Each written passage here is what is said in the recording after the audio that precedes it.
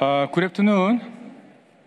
We will now resume agenda item 11, the high-level segment, and it is my pleasure to give the floor to His Excellency, uh, Mr. uh, Jorge Pedro uh, Mauricio dos Santos, uh, Minister of uh, Communities of uh, Capo Verde. Capo Verde, you have the floor.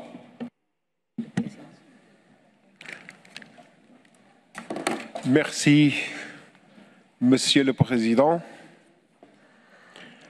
Euh, Mesdames et Messieurs les ministres, Madame la directrice générale de l'OIM, honorable chef de délégation, Mesdames et Messieurs, je voudrais d'abord féliciter Madame Amy Pop pour son élection en tant que première femme dans l'histoire de l'Organisation internationale pour l'immigration, OIM, a occupé le poste important de directeur général.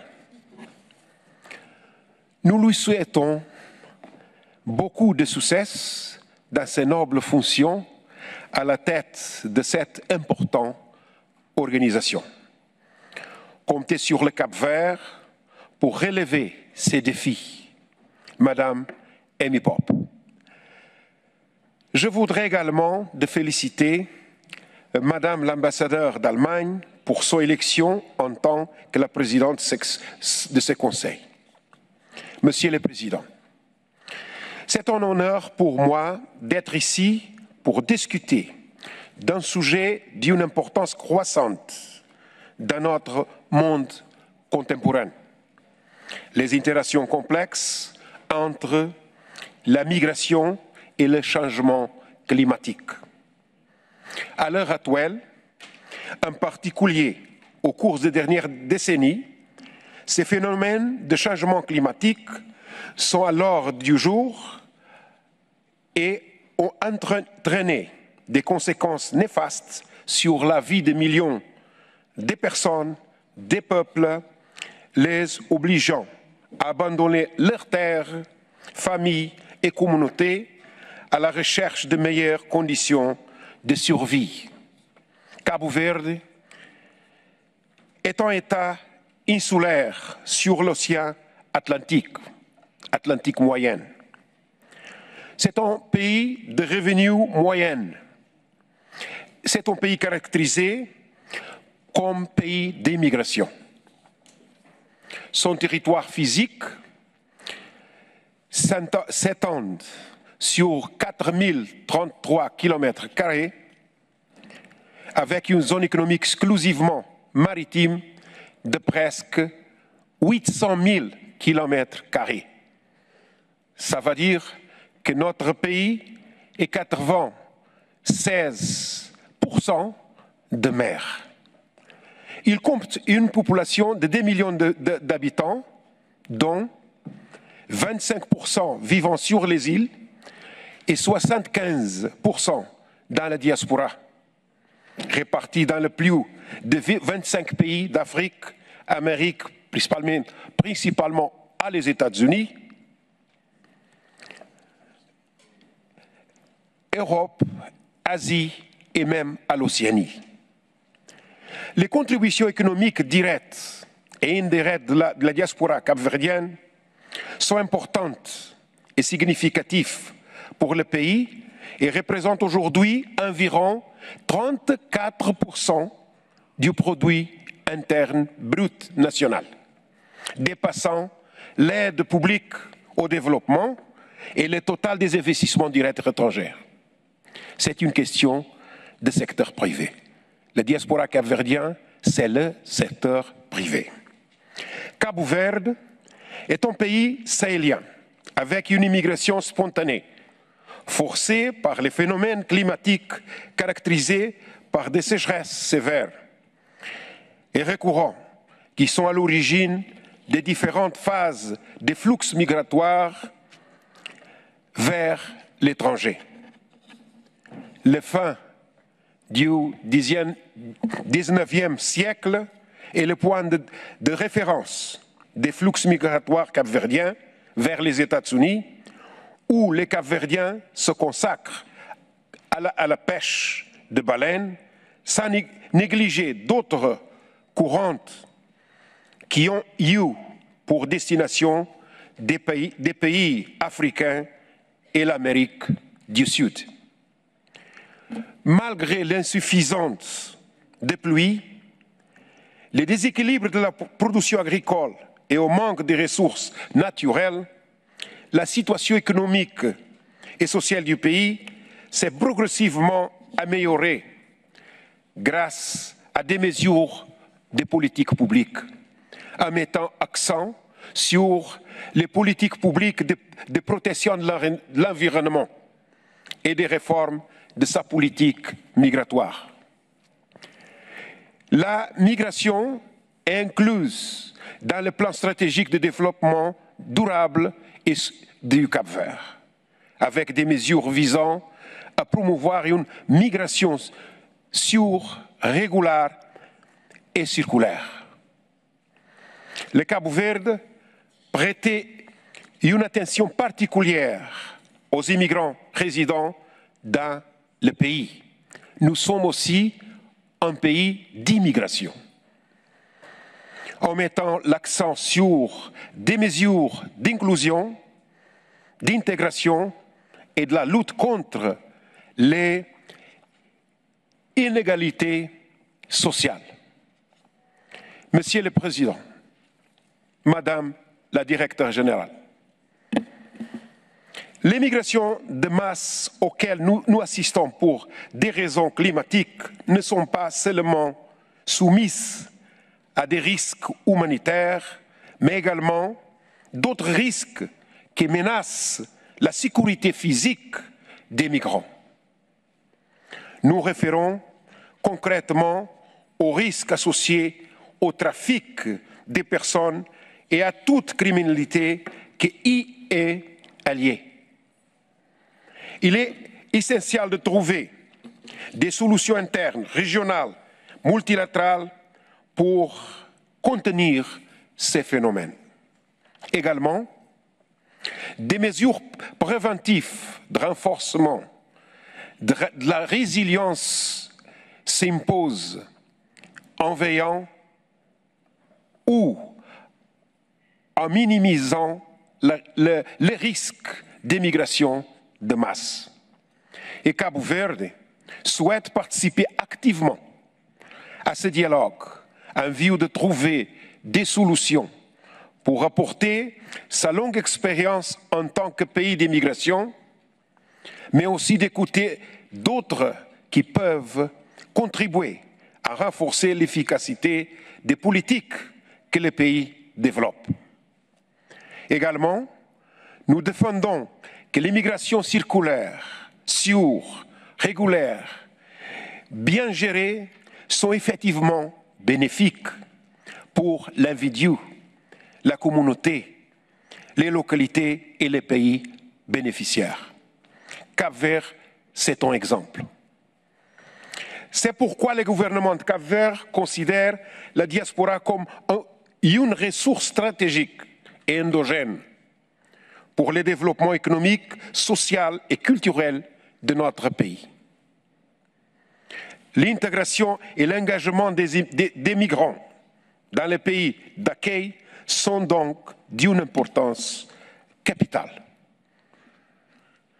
Pour conclure, je voudrais réaffirmer que le Cap Vert a adopté des politiques publiques visant à promouvoir le capital humain et, les investissements économiques et financiers de la diaspora et l'engagement de celle-ci de tous les, les secteurs du développement du pays. Je, voudrais euh, remercier votre attention. Merci à tous. Thank you.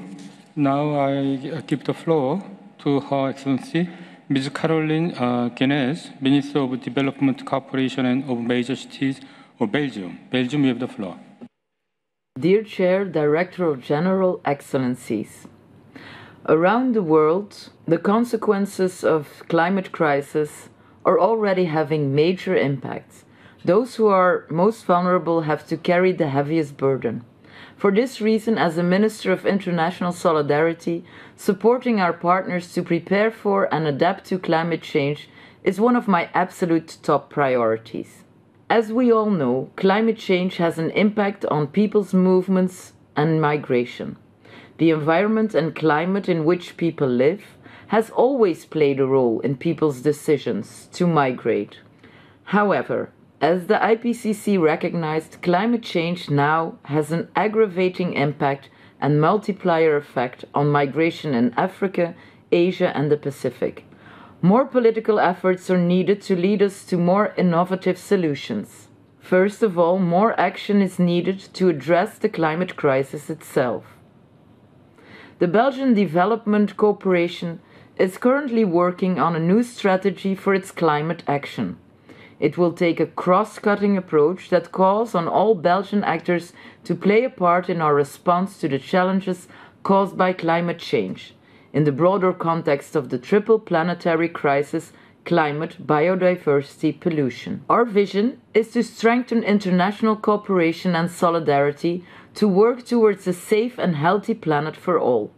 Belgium wants to contribute to the sustainable improvement of the well being of vulnerable populations, particularly in the least developed countries, with a focus on Africa. Belgium will help boost resources for adaptation measures responding to the needs and requests of its partner countries. Secondly, to help address the climate crisis, policy coherence for sustainable development is key. We will make sure that the climate strategy is complementary to our strategy on migration and development. By mainstreaming migration and integrating it into the policies, strategies, and programs of the Belgian Development Corporation, significant results can be achieved. We aim to promote the potential of migration for sustainable development and at the same time to contribute to climate change adaptive solutions. Thirdly, we need action on the ground. Various projects implemented by our development agency, ENABEL, contribute to making people and communities in our partner countries more resilient against the adverse consequences of climate change. Professional mobility is used to develop and exchange climate innovative solutions and skills to address climate induced migration. Other programs dealing with fragility or agriculture, like in Burkina Faso and Niger, address climate induced migration and the impact of displacement on the environment. Lastly, it is necessary to intensify discussions on how we can better manage migration so it doesn't further increase the vulnerability, vulnerabilities of both the people migrating and of host communities. Discussions on regular pathways are needed to respond to sudden changes in the environment. So, all in all, much to talk about. I would like to thank IOM for organizing this timely discussion and wish you a fruitful debate. I thank you. Thank you. Uh, before we move on, uh, I'd like to remind the delegates to limit uh, their statement to five minutes. Okay, I'll give the floor to uh, the Honorable uh, Dr. Uh, Vindhya Persaud, Minister of Human Services and Social Security of Guyana. Guyana, you have the floor. Esteemed colleagues, Director General, Chair, thank you.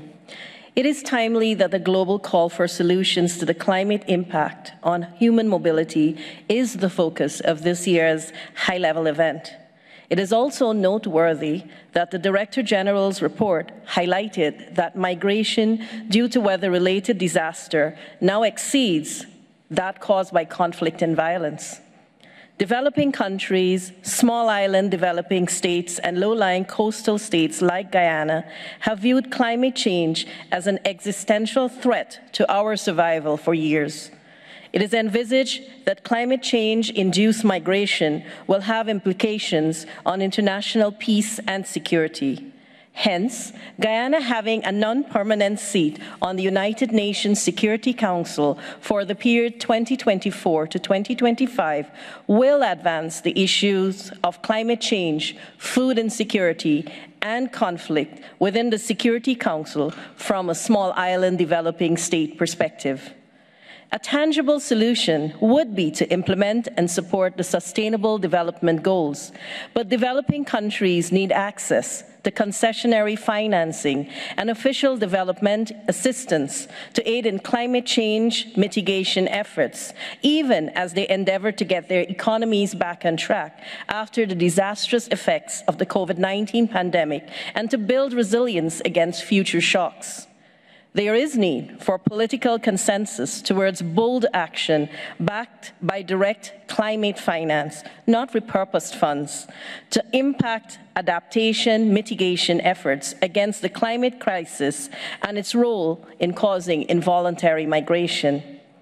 Guyana has consistently made the call for support to those small developing countries that are disproportionately affected by the vagaries of climate change. In this regard, the IOM can be instrumental in developing the appropriate response in collaboration with states. The government of Guyana's committal to a green economy and policies which support this vision include the 2030 Low Carbon Development Strategy, the second national communication to the United Nations Framework Convention on Climate Change, the National Integrated Disaster Risk Management Plan, and the National Adaptation Strategy to address climate change in the agricultural sector and the Sea and River Defense Policy. Guyana has pioneered an overarching framework for planning and implementing climate resilience actions in several areas, including human mobility, through its LCDS 2030, which prioritizes the implementation of Guyana Climate Resilience Strategy and Action Plan, and made interventions to the drainage, irrigation, and sea defense systems to reduce the risk of flooding.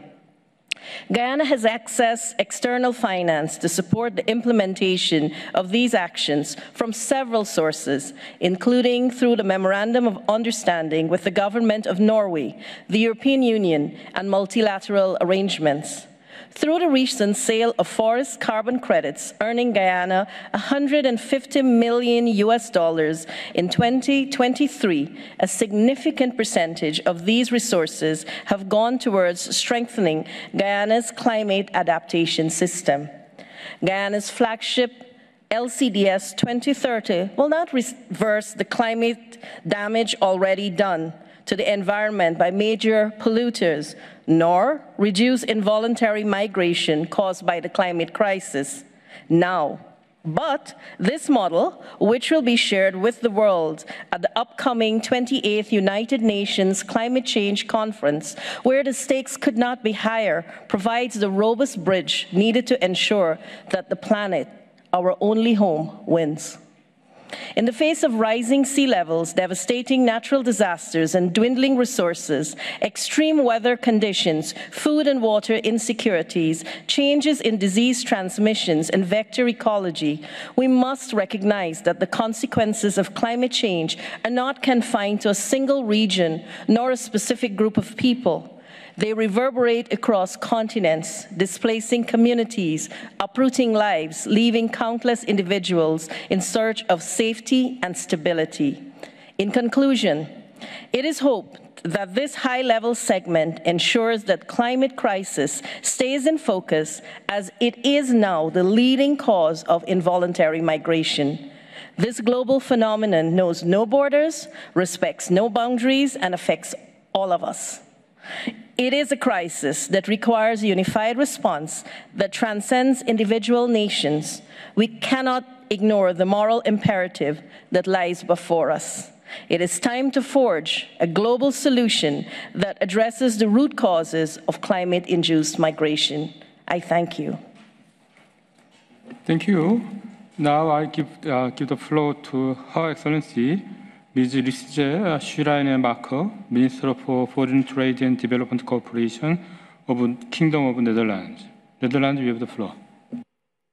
Your Excellencies, ladies and gentlemen, Let me begin by congratulating the new Director General, Amy Pope. Amy, you're IOM's first female DG, and it was about time.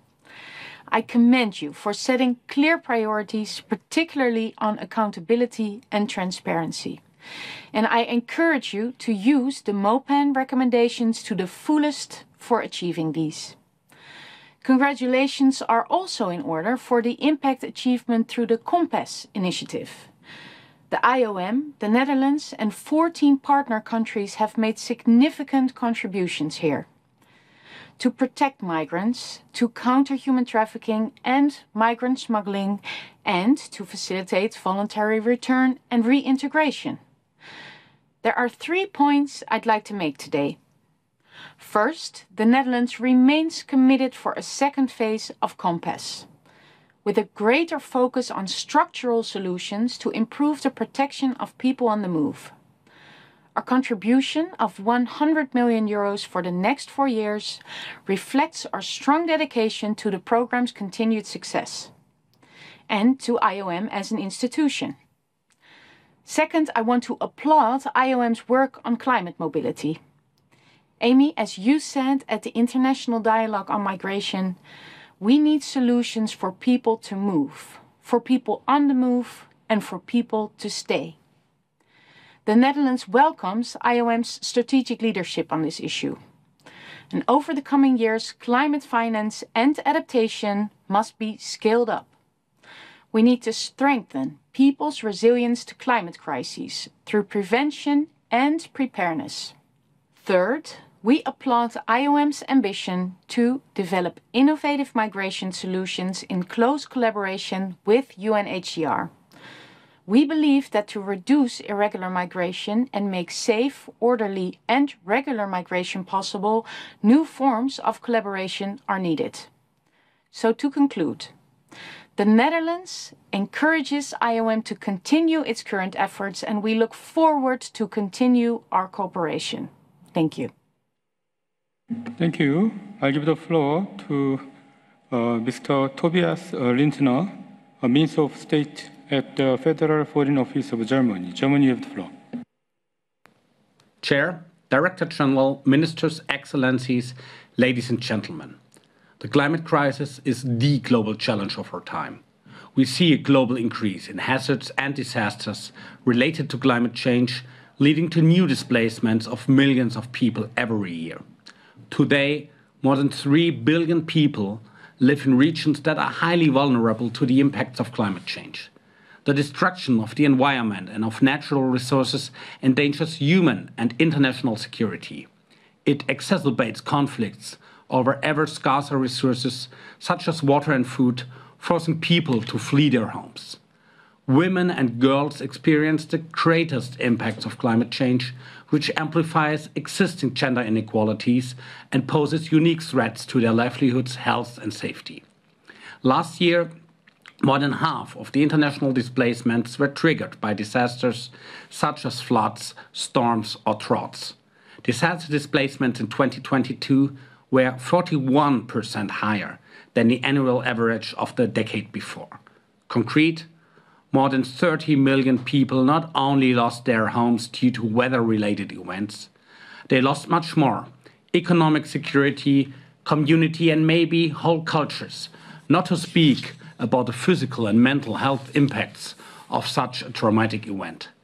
This is why we need the International Organization of Migration more than ever to help families who get displaced because they lost their homes in context of disasters and climate change. To act as far as possible in a preventive manner, IOM is gathering and analyzing data that is needed to anticipate needs in order to act early on with targeted interventions to help people adapt, mitigate the effects of crisis, and prevent displacement. We very much appreciate that Director General Pope is making climate and migration one of her priorities. We stand ready to support this approach. We have committed to strengthening anticipatory action for example, in the context of climate induced disasters and conflicts. We have committed ourselves to use at least 5% of our overall humanitarian budget for anticipatory action, and we encourage partners to do the same. This is why we are glad that Germany and IOM jointly set up the Global Emergency Response Program, which allows for flexible funding to be used in an anticipatory manner.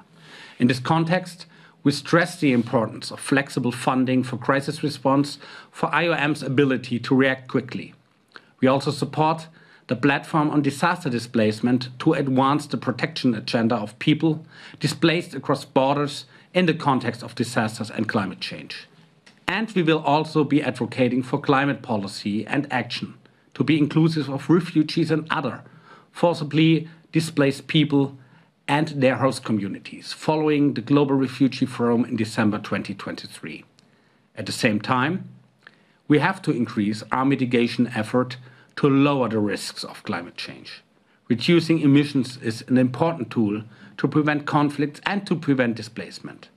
Going forward, we also need a better understanding of the dynamics of displacement and migration movements, especially in the context of climate change.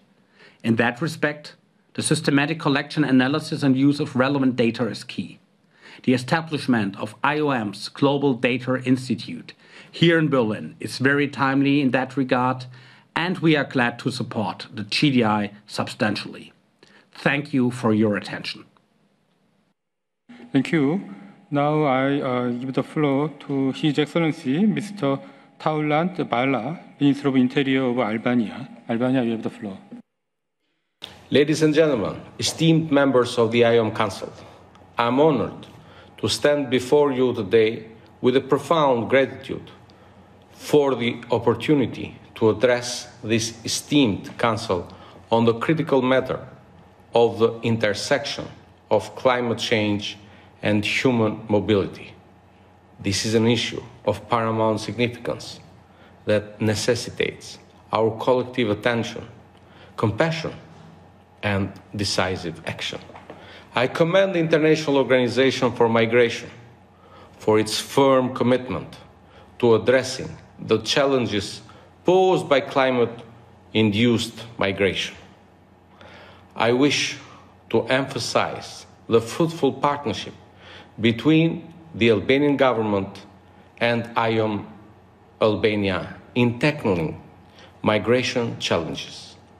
Our joint initiatives, spanning from direct support for migrants to the formulation and implementation of migration strategies, diaspora, engagement, capacity building, programs for our administration, and awareness campaigns have yielded many positive outcomes.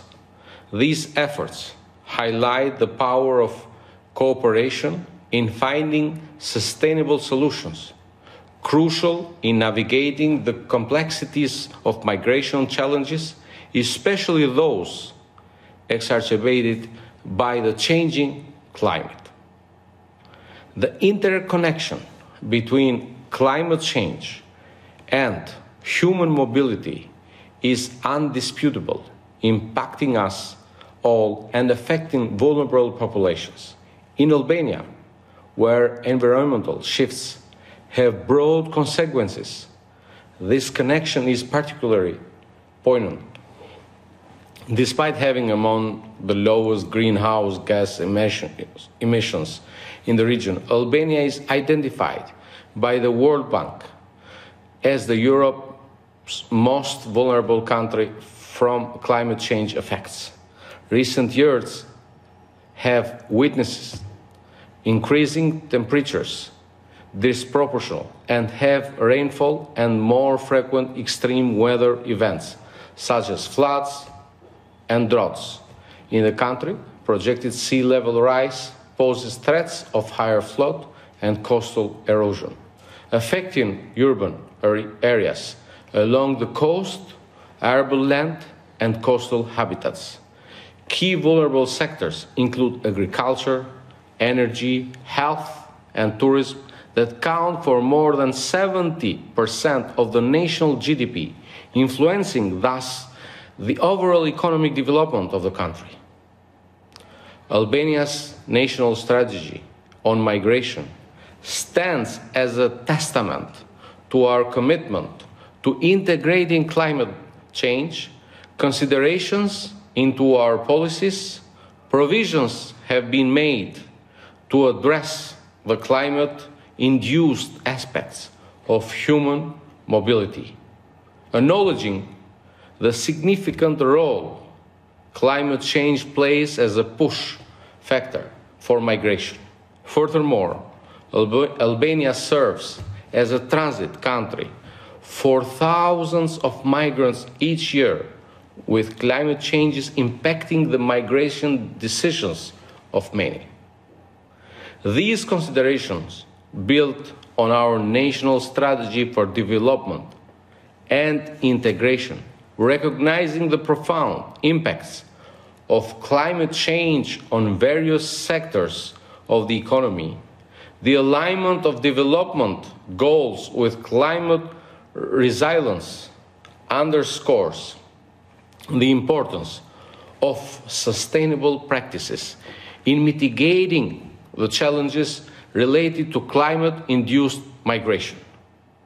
The Albanian government has established a robust legal framework in response to climate change, adopting key documents such as the Law on Climate Change, the Strategy for Climate Change, with a specific chapter on adaptation, the revised determined national contribution, and the National Energy and Climate Plan 2020-2030.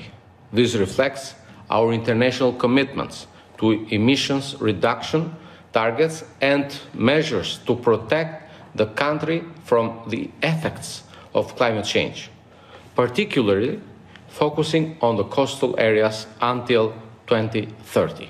Our goal is to mobilize financial and other resources necessary to protect Albania from the effects of climate change, transitioning to a climate resilience development path with net zero emissions. Through this integrated approach, we strive to create a future where development and climate considerations create synergies for the benefit of all. Nevertheless, challenges, challenges persist, and international cooperation is more crucial than ever. It is imperative that we acknowledge these challenges and seek cooperation with all nations by sharing best practices, enhancing capacity, and building resilience. We can collectively address the complex dynamics of climate related mobility. In the spirit of collaboration, I call upon the international community to recognize the urgency of a coordinated global response. Climate induced migration exceeds borders, and our solutions must reflect this reality. Albania stands ready to work hand in hand with our regional partners in the Western Balkans as well as with the global community. Increased support, both in terms of financial assistance and knowledge sharing, is essential for implementing effective solutions.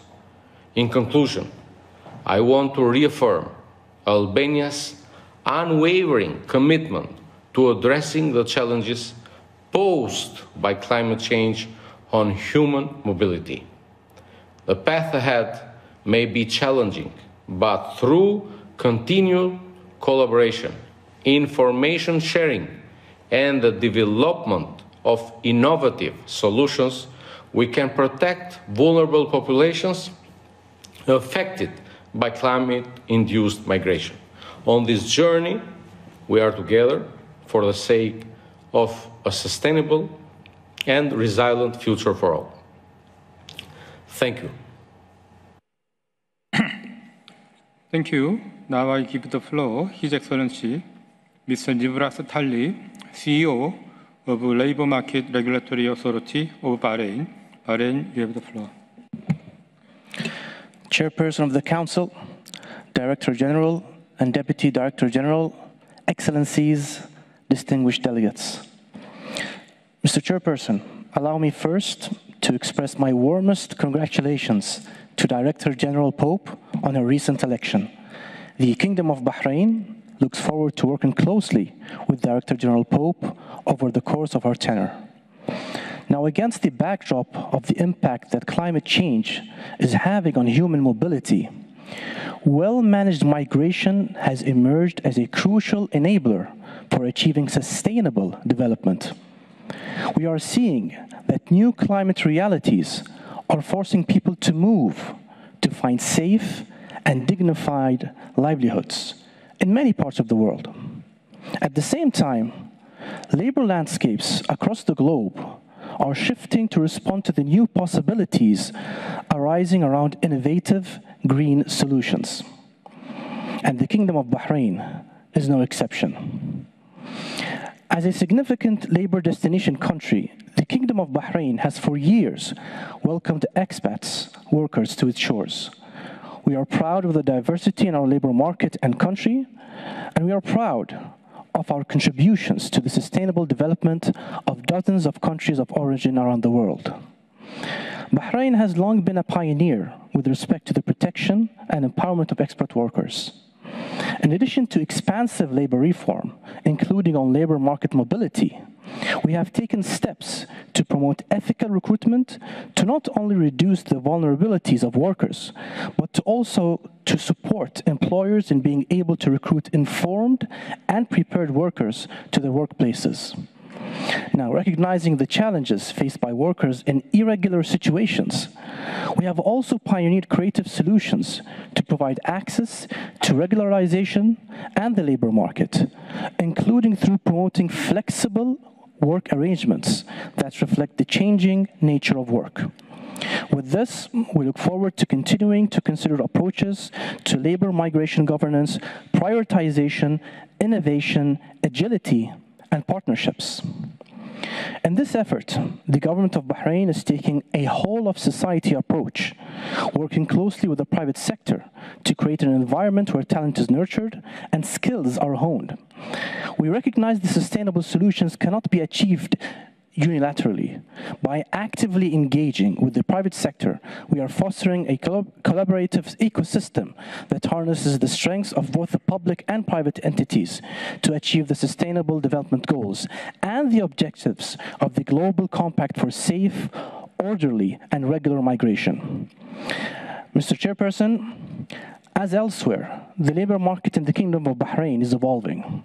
We are seeing and also fully anticipating a growing demand for workers of all skills across both traditional and emerging sectors. We are, in other words, building the workforce of the future. The workforce that we must equip with the knowledge and expertise to pioneer innovative solutions, also in the face of climate change. Now, to meet this challenge, we plan to work closely with partners, both at home as well as beyond our borders.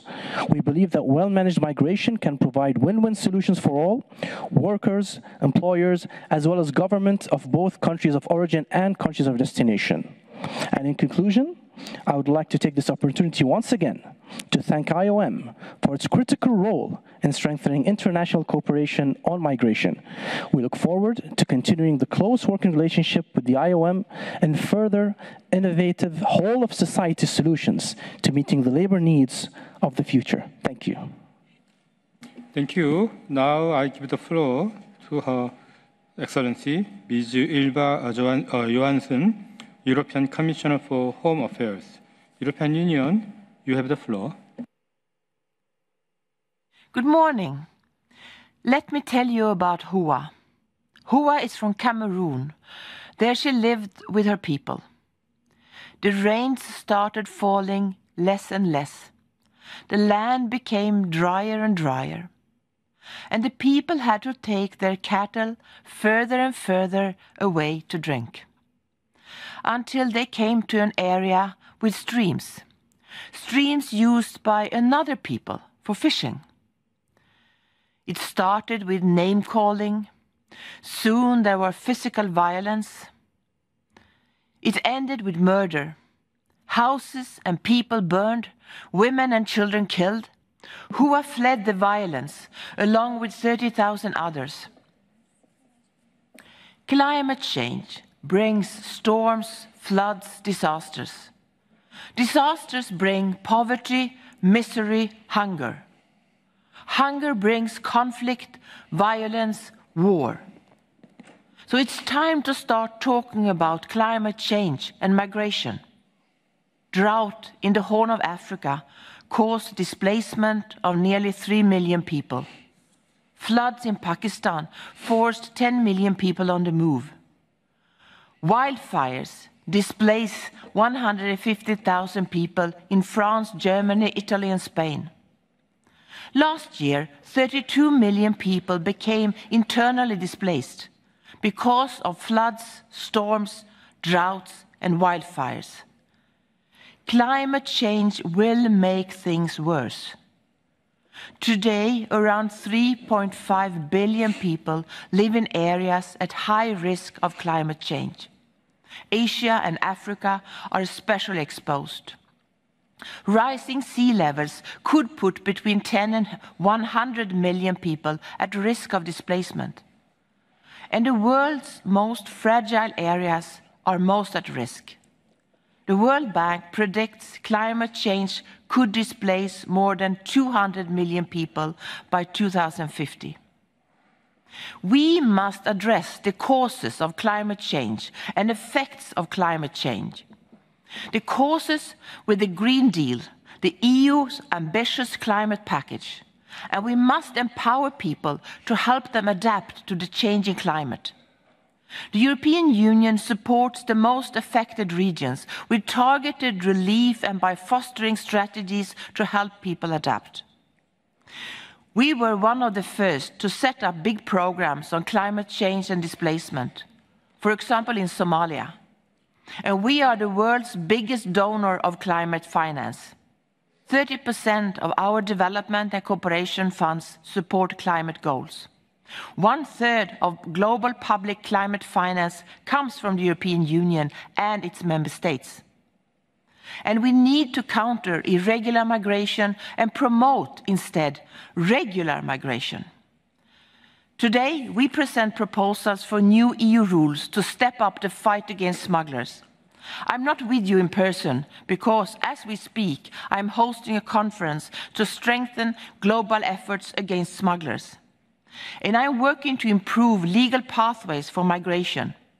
All of our societies need green skills to cope with climate change, skills to design, build, and repair solar panels and wind turbines.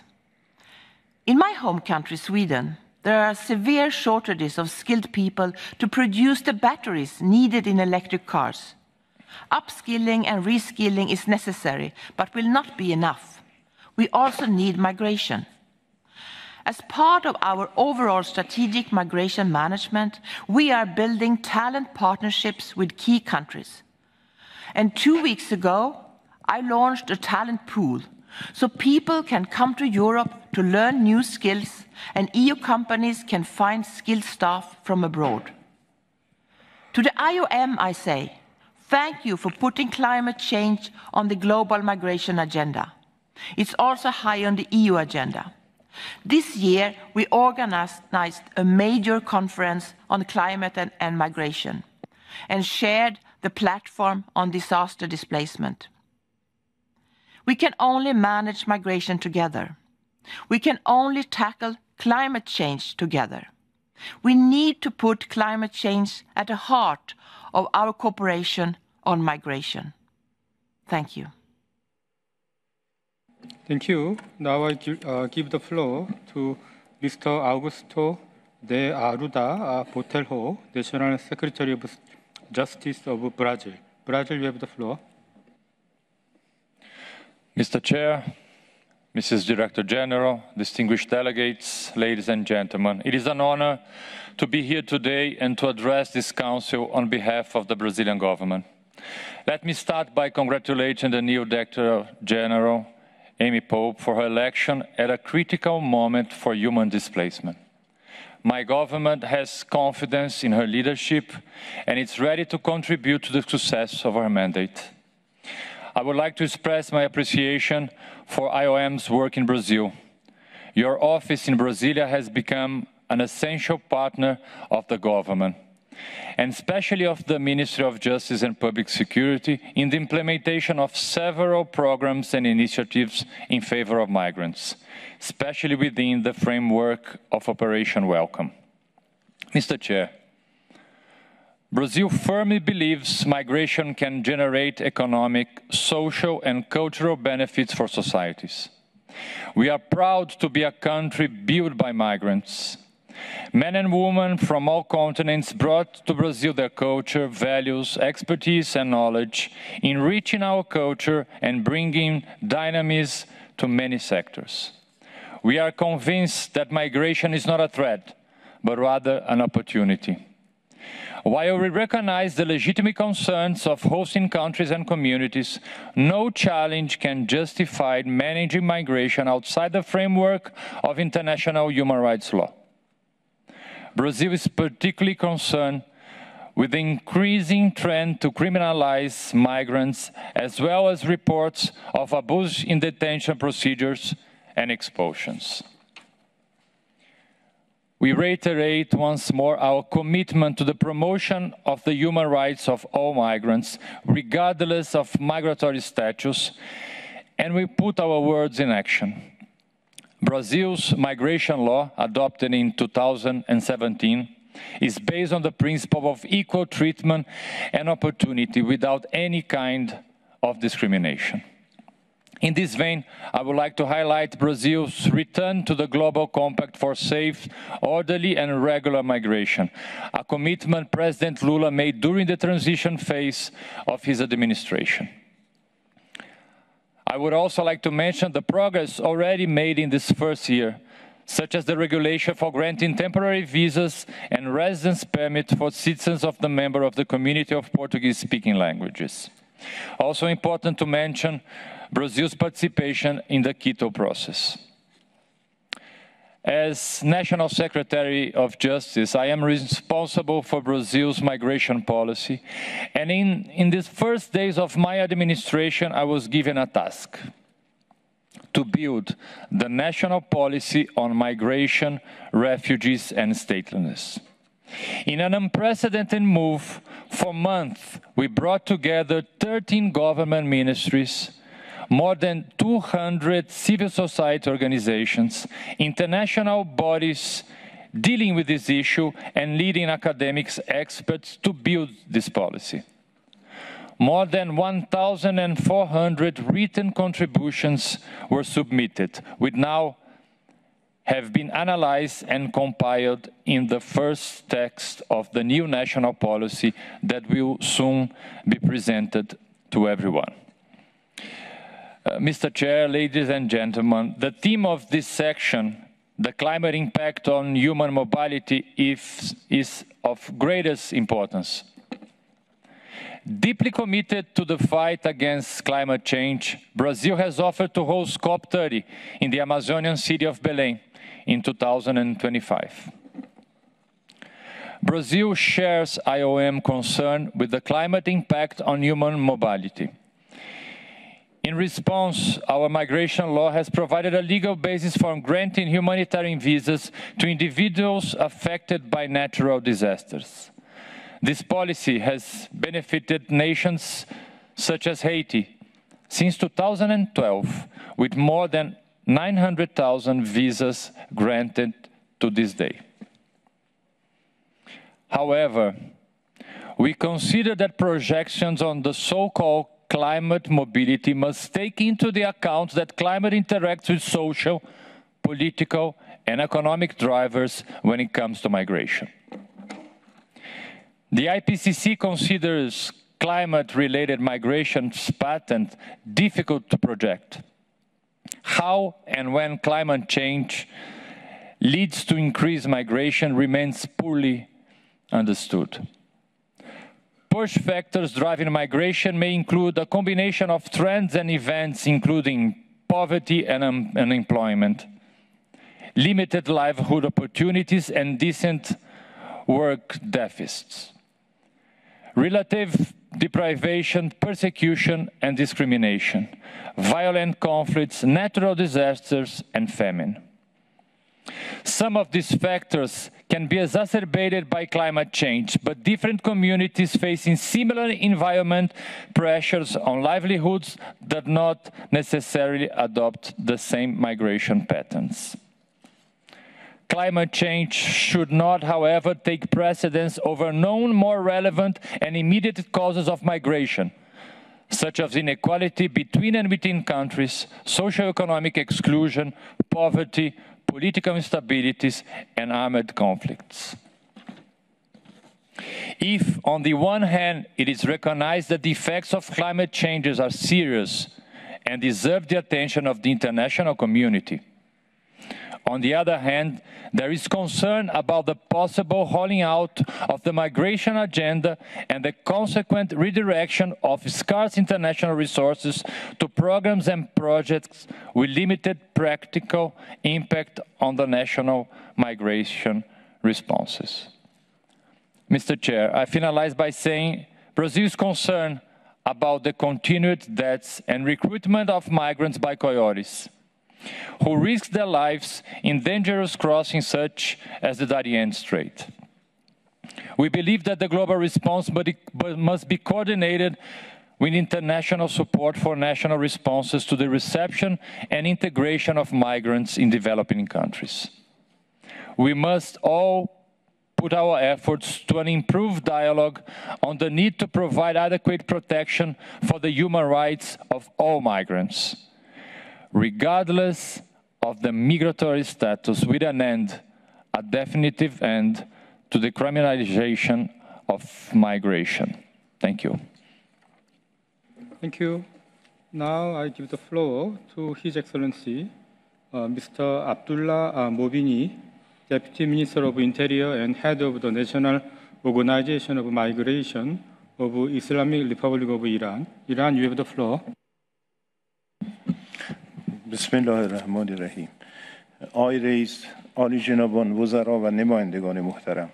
ابتدا از زحمات سازمان بین المللی مهاجرت برای تشکیل این نشست عالی رتبه در حوزه تأثیر تغییر اقلیم بر جابجایی قدردانی می کنم خاورمیانه و غرب آسیا در هفت دهه گذشته یکی از کانونهای بیجا شدگی در جهان بوده است. آخرین نمونه آن آوارگی فاجعه بار ناشی از جنگ غزه است. بر اساس گزارش دفتر هماهنگی های بشردوستانه سازمان ملل این جنگ در مدت پنجاه روز به بیخانمان شدن و آوارگی بیش از یک میلیون و هشتصد هزار شهروند بیگناه انجامیده است. در چنین وضعیتی مسئولیت جامعه بینالمللی برای کاهش آلام مردم غزه دو چندان خواهد بود.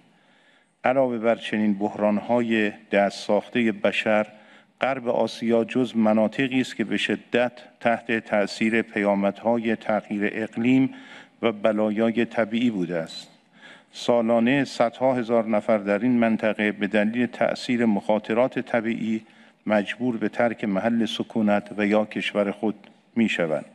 جمهوری اسلامی ایران نیز از جمله کشورهایی است که تأثیر زیادی از پیامدهای تغییر اقلیم و بلایای طبیعی از جمله خشکسالی، زلزله، سیل پذیرفته است. ایجاد بیقاعده صد و عدم تأمین حق آبه از رودهای مرزی موجب بروز یا تسریع بحرانهای زیست محیطی و بلایای طبیعی ویرانگر از جمله سیلاب، کاهش سطح آبهای زیرزمینی، خشکیدگی تالابها و دریاچه ها شده است. این وضعیت باعث شده است معیشت جوامع محلی تحت تأثیر قرار گرفته و به مرور ساکنان آن مناطق مجبور به مهاجرت داخلی بر کشور شوند. به عنوان مثال خشکسالی و شرایط ناشی از گرد و غبار موجب جابجایی داخلان داخلی شهروندان از مناطق جنوب شرقی ایران به دیگر مناطق کشور شده است. افزون بر آن سیل مهاجرت در پی همین شرایط از کشور افغانستان به ایران تشدید شده و بار مضاعفی بر کشورم تحمیل نموده است. اقدامات کشورهای همسایه در ایجاد بیرویه صد و عدم تأمین حقابه ایران از رودهای مرزی باعث خشک شدن دریاچه هامون در مناطق مرزی ایران با افغانستان شده است. علاوه بر این در زل غرب و شمال غربی ایران ایجاد سدهای جدید بر رود عرس، دجله و فرات منجر به کاهش حجم آب رودهای مرزی در شمال غرب ایران، خشکسالی تالابها در عراق و ورود ریزگردها و گرد و خاک از غرب و جنوب غربی ایران است. این خود عامل دیگری برای تأثیر تقلیم اقلیم بر جابجایی جمعیت است. آقای رئیس، جمهوری اسلامی ایران در همسایگی با کشورهایی قرار دارد که آنها نیز با تأثیرات تغییر اقلیم و بلایای طبیعی روبرو هستند که نمونه مهم آن کشور افغانستان است. تأثیرات ناشی از تغییر اقلیم در این کشور به همراه چند دهه خشونت و ناامنی پیامدهای مخربی را بر وضعیت معیشت و اقتصاد افغانستان داشته است. از سوی دیگر با وقوع زلزله مخرب در منطقه حرات افغانستان در اکتبر سال جاری شهروندان این کشور با وضعیت بغرنج اقتصادی و معیشتی روبرو شدند در نتیجه این تحولات اقلیمی و بلایای طبیعی هزاران نفر از شهروندان افغانستان در جستجوی زندگی بهتر به سوی مرزهای حرکت کرده و مشکلات مهاجرتی در ایران را پیچیده تر کردند. علاوه بر تأثیرات تغییرات آب و هوایی و بلایای طبیعی مردم ایران با بلایای ساخته انسان از جمله تحریم های یک جانبه نیز مواجه هستند. در چنین شرایطی طبیعی است که کشورم ظرفیت پذیرش مهاجران جدید به خصوص مهاجران اقتصادی را نداشته باشد. فشار بر زیر های اقتصادی و اجتماعی در مناطق مختلف کشور از جمله در حوزه تأمین مواد غذایی و آب، حاملهای انرژی، اسکان، بهداشت، تحصیل و حمل و نقل به دلیل افزایش تعداد مهاجران خارجی تشدید شده است. در همین راستا پیشنهاد می گردد حمایت های فنی و اقتصادی توسط جامعه بین‌المللی از کشورهای در حال توسعه که از یک سو در حال مواجهه با موج بیقاعده مهاجرت بوده و سوی دیگر تحت تاثیر تقلیم اقلیم و بلایای طبیعی هستند به منظور افزایش میزان تاب آوری و جلوگیری از جابجایی جمعیت تقویت شود.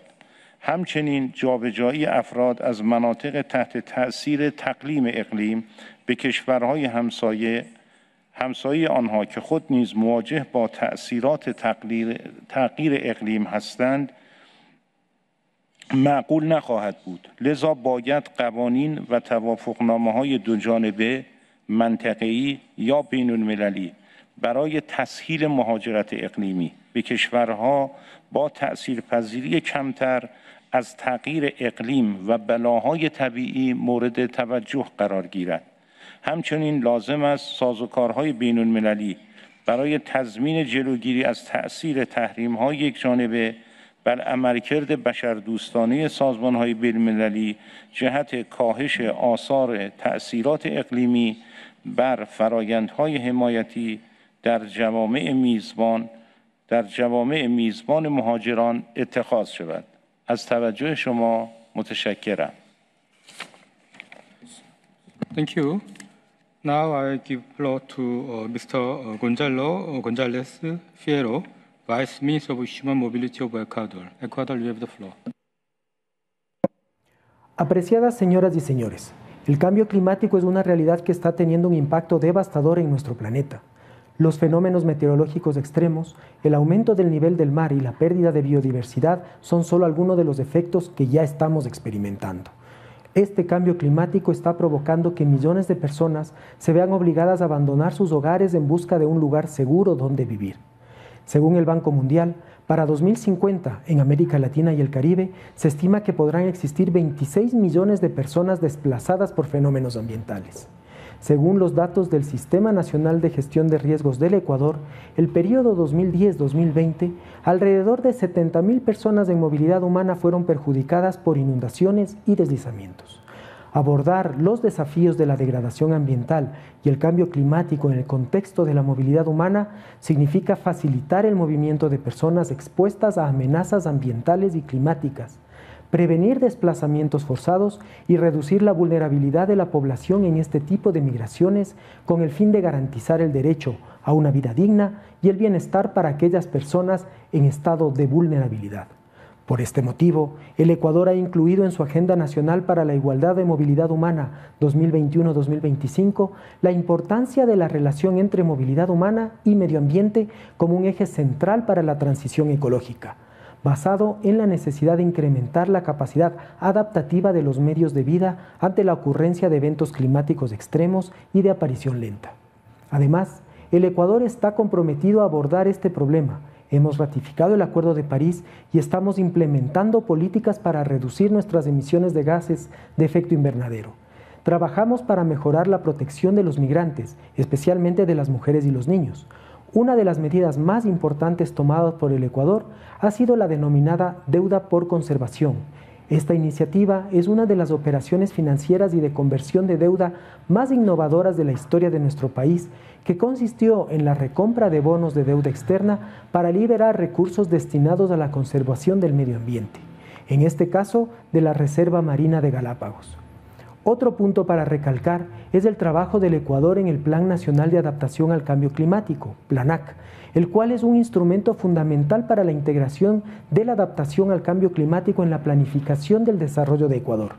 Este plan reconoce que los impactos del cambio climático incluyen efectos sobre la movilidad humana, un fenómeno que tiene implicaciones significativas para la seguridad y el bienestar de las personas. El cambio climático está afectando a la movilidad humana en Ecuador a través de eventos meteorológicos y sequías, lo que ha provocado pérdidas humanas, desplazamientos y migraciones internas y transfronterizas, sobre todo con la presencia de los efectos devastadores del fenómeno del niño cuya fuerza destructora se va incrementando día a día. Este evento climático adverso aumentará en, forma, en el futuro cercano y afectará a los medios de vida de la población. Es importante para el Ecuador generar información, desarrollar capacidades y garantizar financiamiento para abordar estos desafíos y reducir la vulnerabilidad de la población que migra o tiene que desplazarse por motivos climáticos. Es importante que los esfuerzos de adaptación y mitigación del cambio climático consideren la protección y el apoyo a las comunidades que se ven obligadas a desplazarse debido a los impactos climáticos.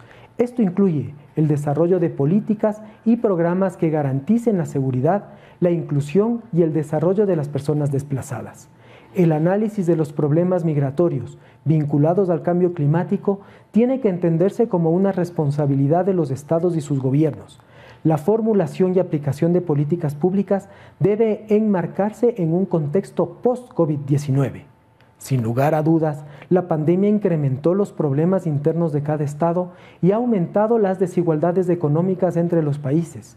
Esta problemática también se ve reflejada en la reducción de las capacidades nacionales para afrontar el problema climático y las crisis migratorias.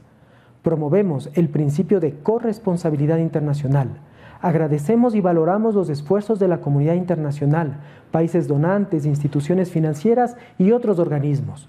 No obstante, creemos que todavía tenemos mucho por recorrer en beneficio de los migrantes y las comunidades de acogida. La movilidad humana es compleja y exige una respuesta dinámica frente a los nuevos desafíos de los fenómenos migratorios que se vinculan al cambio climático es necesario el fortalecimiento de las estrategias conjuntas entre los países receptores, de tránsito y de origen de los migrantes como parte del principio de corresponsabilidad. Debemos alcanzar acuerdos que prioricen a la migración en la agenda de las organizaciones internacionales y particularmente de los cooperantes. Los efectos del cambio climático y medioambientales no son uniformes. Afectan de forma desproporcionada a los países y comunidades más vulnerables. El Banco Mundial calcula que para el 2050, si no se adoptan medidas en materia de clima y desarrollo, más de 143 millones de personas podrían verse abocadas al desplazamiento interno debido a efectos del cambio climático en el África subsahariana, Asia Meridional y América Latina. Insistimos en que es necesario realizar más investigaciones a efectos de comprender claramente las distintas repercusiones y su incidencia en la configuración de los movimientos de las poblaciones así como para fundamentar las políticas y las medidas a fin de atender las necesidades y los complejos retos que afrontan las comunidades más vulnerables a los efectos climáticos. el liderazgo del Ecuador en la defensa de la biodiversidad, la movilidad humana, el cambio climático y la necesidad de lograr una real transición ecológica ha sido reconocido por varios países alrededor del mundo. Ecuador tiene un marco normativo robusto y una institucionalidad que permite atender estos problemas. Es importante que todos nos comprometamos a tomar medidas para abordar este tema. Juntos podemos construir un futuro más sostenible y justo para todas y todos. Muchísimas gracias.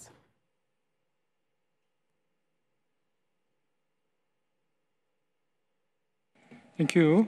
Now I give the floor to Mr. Uh, Njablo Njuja, Deputy Minister of Home Affairs of South Africa. South Africa, you have the floor. Thank you, Chairperson.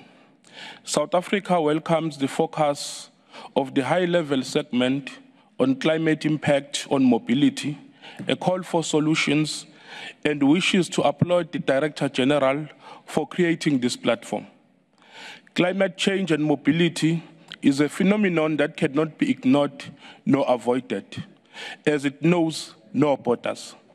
This year alone, the world experienced extreme weather patterns such as cyclones, floods, droughts, wildfires, and earthquakes that destroyed infrastructure and agricultural production, which is an indication that no one is immune to the devastation of natural disasters that are disruptive to the livelihoods of persons. Sadly, Africa is also at the receiving end of these disruptions. South Africa and the southern African regions are not spared the disruptive effects of climate change. For South Africa, this contributes to internal displacement, food insecurity, and loss of life caused by severe weather patterns resulting in droughts and floods on the back end of El Nino and El Nina. In 2023 alone, South Africa has seen a decrease in crop yields, loss of livestock, and soaring food prices, as well as vector and web waterborne diseases growing in frequency and in intensity. Chairperson, as a signatory to the Global Compact on Safe, Orderly and Regular Migration, South Africa believes that the compact provides a base and articulates how member states should address cross-border mobility as a result of the adverse impact of climate change. Consequently, my country is of the view that the discussion on migration should support the existing dialogue on climate change and align itself with the United Nations framework for climate change the Paris Agreement and its subsequent conferences. Yesterday, the Director General spoke on the importance of data collection and analysis to enhance the forecasting for appropriate early warning responses to reduce risks that may contribute to the loss of life. We could not agree more. Countries that are the most vulnerable to the environmental shocks are the least prepared. Earlier this month, South Africa hosted a group of Earth observations meetings which gathered weather experts in government and other relevant stakeholders to discuss and build their capacity on how data can be used in addressing environmental challenges such as early warning systems. If nothing concrete and comprehensive is done, we will keep on taking from Mother Earth until she says, I have nothing to give. It is that day we must avoid, as this will exacerbate the worsening climate situation, resulting in further forced displacement of people. My country is adding its miniature effort towards tackling this gigantic task facing humankind. Our efforts include supporting the United Nations Disaster Risk Reduction and the Sendai Framework for Disaster Risk Reduction process that in return support member states to develop national plans and emphasize the importance of investment in the prevention and reduction of disasters. My government allocated 372 million rands, which was added towards the municipal disaster response grant, and an additional 1.2 billion rands towards the municipal disaster recovery grant. This was meant to cover the repairs and rehabilitation of infrastructure damaged by floods in February and March in 2023. Further, in line with the Sendai framework on disaster risk reduction, South Africa is in the process of finalizing the draft guidelines on humanitarian standards in humanitarian response, which is a collaboration between the National Disaster Management Committee and the Provincial Disaster Management Committee and other relevant national stakeholders to prepare for annual seasonal contingency plan. My country has to date drafted the climate bill, which is currently in parliament for consideration. We are also undertaking comprehensive research to understand the linkages between migration and desertification, land degradation, drought, climate change, and other environmental factors. Notwithstanding, in the event of potential climate change induced mobility, South Africa has set bilateral mechanisms with our neighboring countries. Therefore, Chairperson, we acknowledge that the nexus between migration, climate change, and the environment is complex in nature.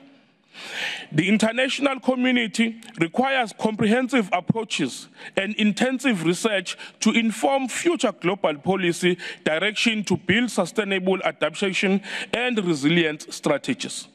In conclusion, my delegation reiterates that we must enhance the capacity of state institutions as primary actors in the preparedness and response efforts, given that humanitarian needs are expected to increase due to climate change challenges as noted in Africa and other countries in the rest of the world.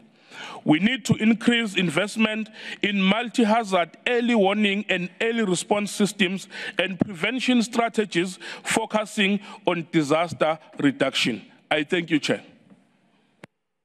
Thank you. Now I give the floor to Mr. Kewal uh, Prasad Bhandari, Secretary of the Ministry of Labor, Employment and Social Security of Nepal. Nepal, you have the floor. Respected Chair, Director General, Excellencies, ladies and gentlemen.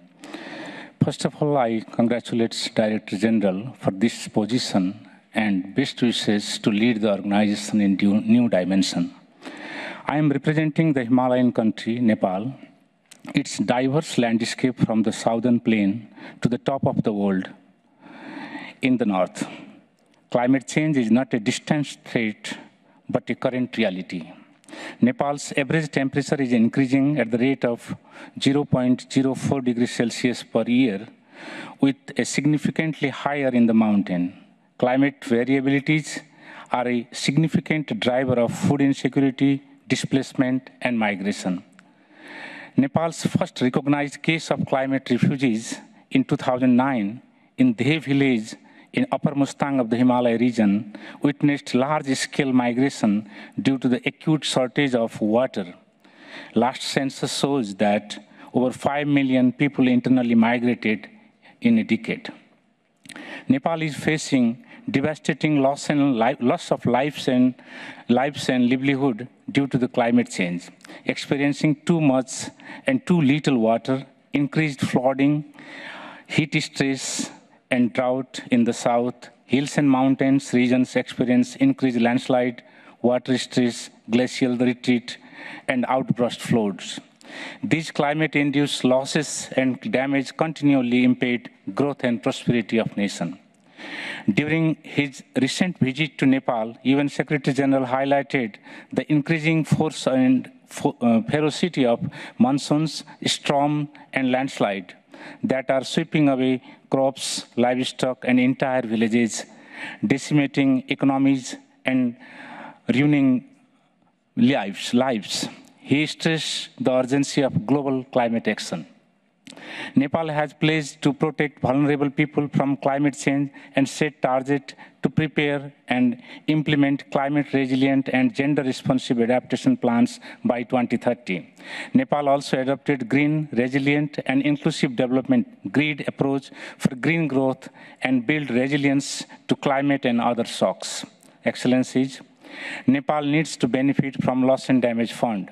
We look forward its operationalization, access to predictable climate financing to build resilience and enhance our adaptive capacity. We must ensure that our local governments, climate resilience development efforts equipped with resources, capacity, and knowledge to take the lead on climate change and human mobility. Last fiscal year, 0.77 million Nepalis sought employment globally and remittances for equivalent to a quarter of GDP. With a substantial population overseas, the impact of climate change in our migrant workforce is paramount. Across the world, temperatures have risen significantly and soared to unprecedented. Nepali migrant workers are among the scores of outdoor workers in construction and agriculture are disproportionately exposed to extreme heat, which is an occupational safety and health hazard. In this context, robust occupational heat protections are critical to ensure safety, ensuring migrant workers workers have equal access to social protection and health care is crucial. Long-standing issues that migrant workers face, such as recruiting, recruitment fees, remittances fees, and wage abuses, require effort to resolve, which ensure migrant workers maximize the benefit. As climate impact influences all aspects of human mobility, including migrants' decision to move, stay, or return, we reaffirm commitment to ensuring safe, orderly, and managed migration. Excellencies, the green transition presents opportunities and challenges across the world as government prepare and manage workforces for low carbon economy. There is a pressing need for more bilateral cooperation in research, training, and managed labor migration between country of origin and destination. This includes engaging with development partners, private sector, and civil society to create win-win outcomes to meet their climate change and SDG with the migrants' well-being at the center. Nepal has always prioritized bilateral labor agreement as a part of labor migration policy and implementing innovative skill development and labor partnership that will also promote climate action. We urge the IOM to facilitate such cooperation. At the time for action is now. Need to work together not just as a nation, but as a global community to address the impacts of climate change and human mobility. I thank you all. Thank you. Now I give the floor Ms. Isabel Castro Fernandez, Secretary of State of uh, for, for Migration. Uh, Spain, we have the floor. Gracias, presidente. Directora General, Excelencias, queridos colegas y autoridades. Quiero empezar, como país miembro de la Unión Europea, recordando mi conclusión de ayer. Para España, la solidaridad, el respeto a los derechos humanos y la acción multilateral son vías claves para afrontar los retos y las oportunidades del fenómeno migratorio. Agradecemos la elección de la temática de este foro, que encaja en una de las cuatro prioridades de la presidencia española del Consejo de la Unión Europea avanzar en la transición ecológica y la adaptación medioambiental. Somos conscientes de que junto a las causas tradicionales de la migración hay que sumar el efecto que produce el cambio climático. Fenómenos climáticos extremos, incluidas inundaciones, olas de calor, sequías e incendios forestales, así como los desafíos climáticos de evolución más lenta, como el aumento del nivel del mar la intensificación del estrés hídrico, fuerzan a miles de personas a abandonar sus hogares. Sin embargo, al igual que con las otras causas que provocan la movilidad, nuestro enfoque hacia la migración tiene en cuenta sus dimensiones humana, económica y social. Desde hace 20 años, para España, uno de los ejes vertebradores de nuestra política migratoria ha sido fortalecer la cooperación con los países de origen y de tránsito en la gestión responsable de una migración segura, regular y ordenada.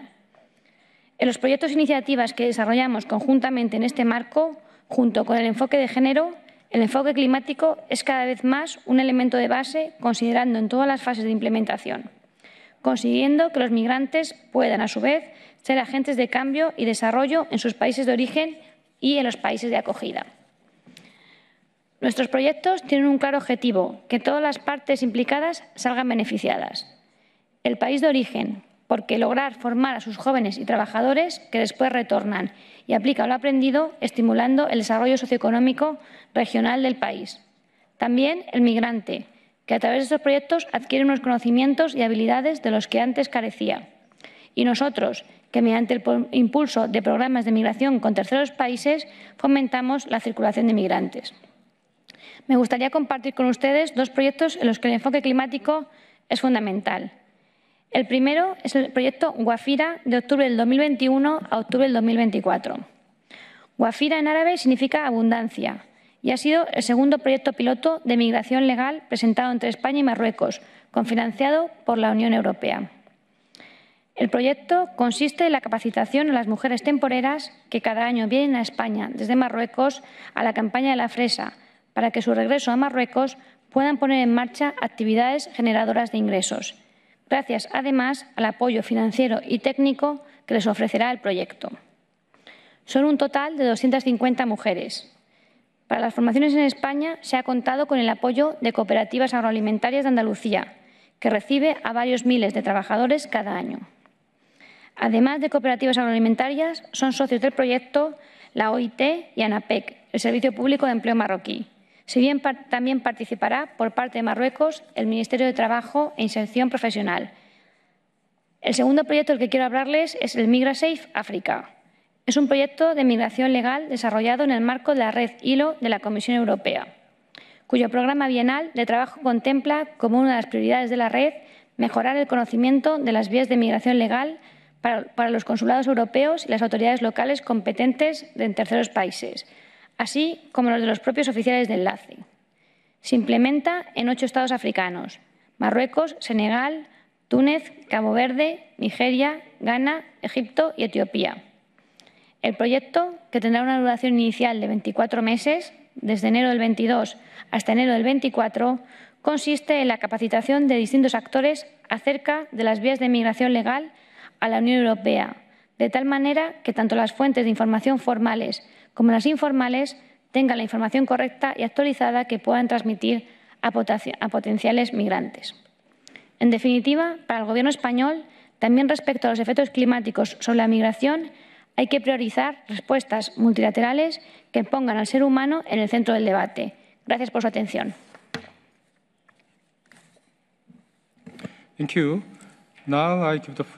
Mr. Aliu uh, Tijani uh, Ahmed, Federal Commissioner, National Commission for Refugees, Migrants, and Internally Displaced Persons of Nigeria. Nigeria, you have the floor.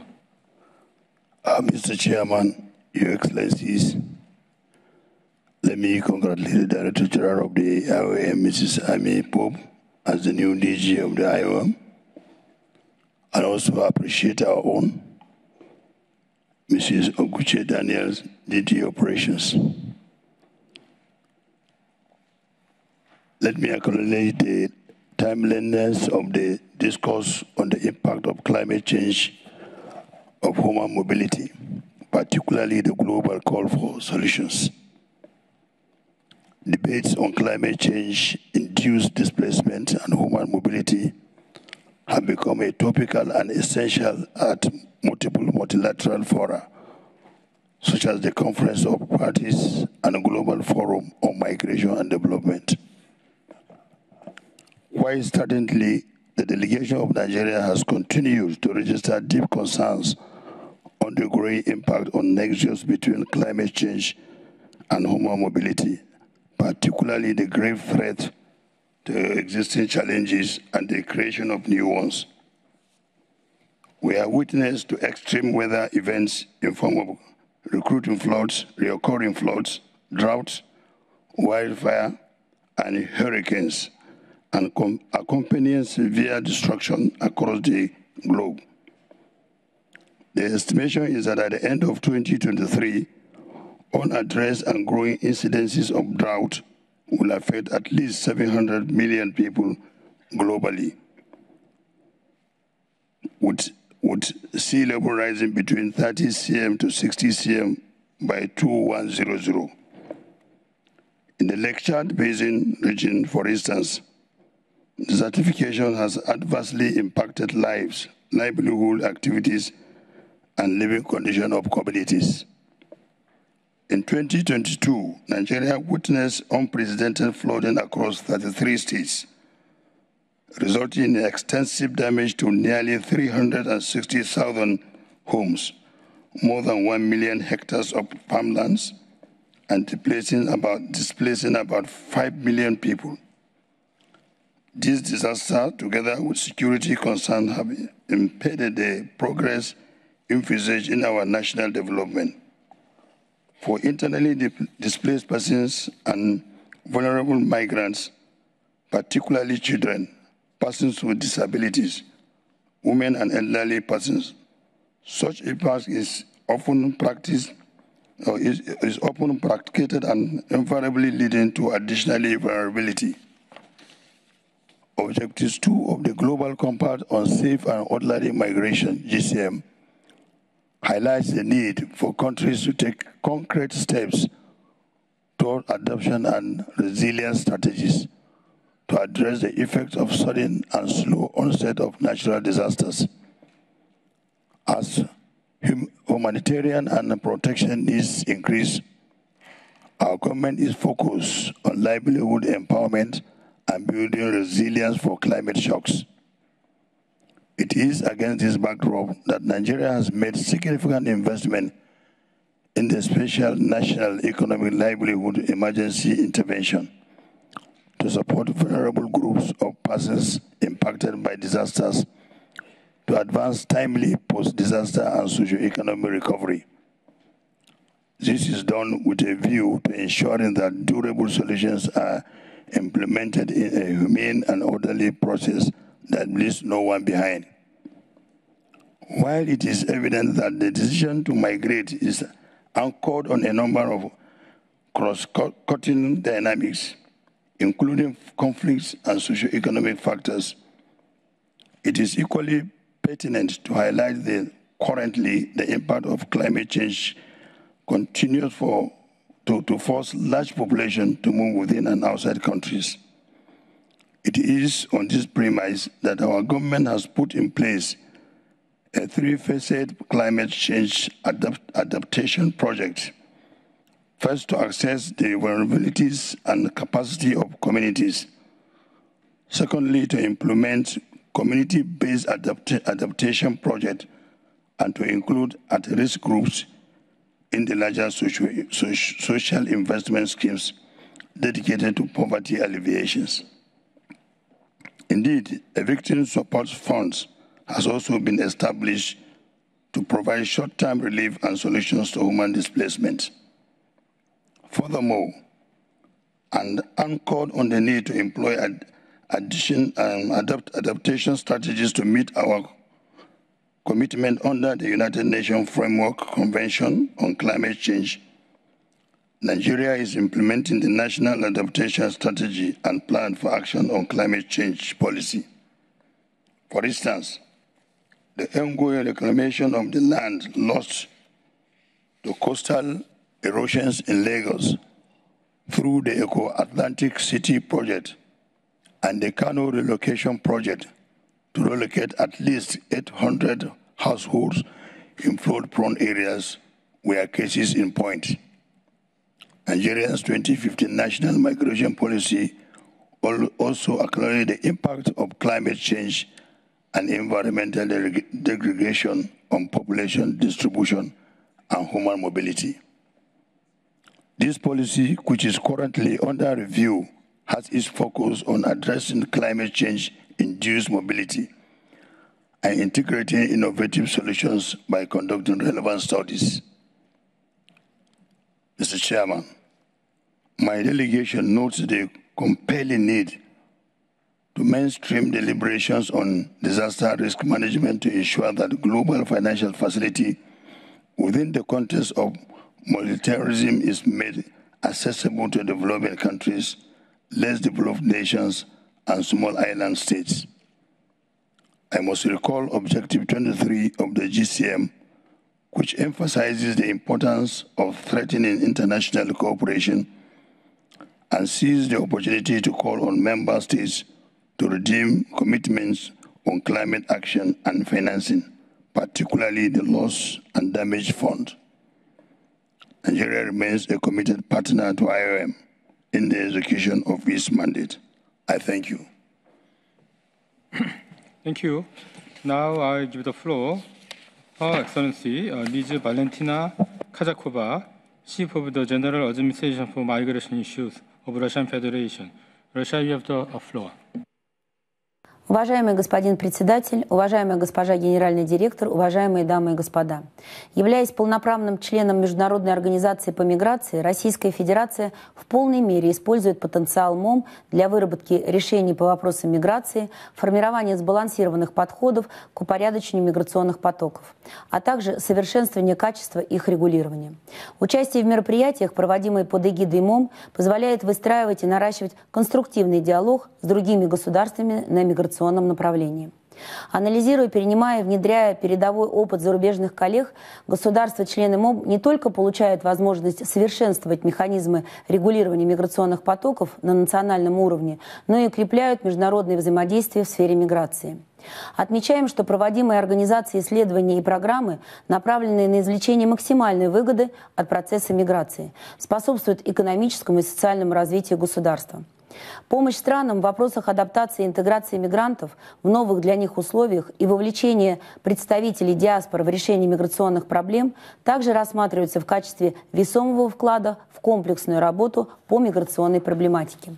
Исходим из того, что основной вектор в развитии современных подходов к международной миграции задается глобальным договором о безопасной, упорядоченной и легальной миграции. Положение данного документа находит свое отражение в концепции государственной миграционной политики Российской Федерации. В первую очередь это касается сохранения принципа открытости России для иностранных граждан, рассматривающих наше государство в качестве страны с благоприятными условиями для удовлетворения своих экономических, социальных, социальных и культурных потребностей, обеспечение простых и прозрачных механизмов для осуществления трудовой деятельности, создание равных возможностей для получения государственных услуг в сфере миграции, оптимизации административных процедур, использование современных цифровых технологий.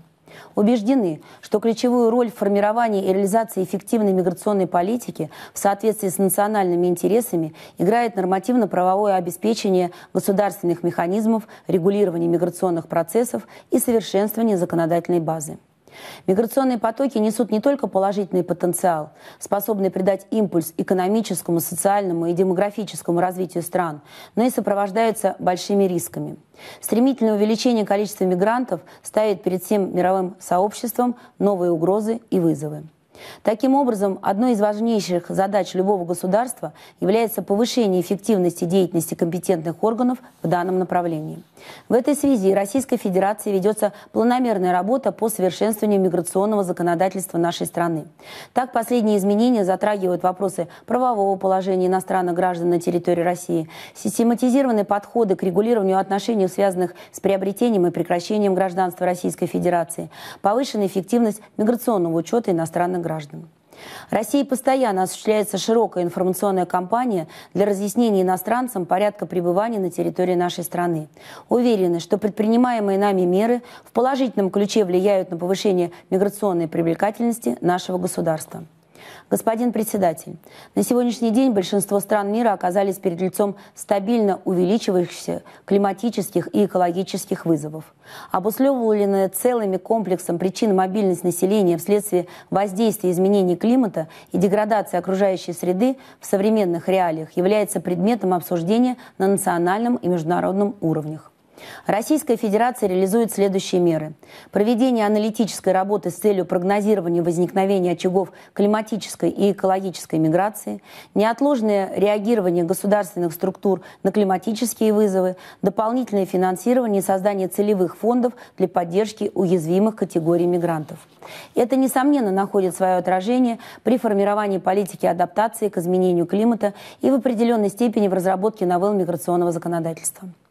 Господин председатель, в заключение хотелось бы отметить, что решение оперативных задач в области миграции на уровне государств является залогом успешной и стабильной миграционной ситуации во всем мировом сообществе. Донесение до международной общественности ключевых достижений в сфере создания цивилизованных каналов миграции и упорядочения миграционных потоков должно быть лишено политизированной подоплеки и двойных стандартов. Высоко оцениваем накопленный МОМ опыт по решению всего спектра миграционных вопросов и полагаем, что организация и впредь в своих подходах будет руководство общепризнанными гуманитарными принципами гуманности, нейтральности, беспристрастности и независимости. Благодарю за внимание.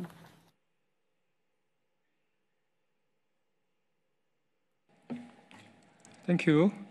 Uh, I'll give the floor to His Excellency Mr. Kiwan Kwon, Deputy Minister for Multilateral and Global Affairs of Republic of Korea. Korea, you have the floor.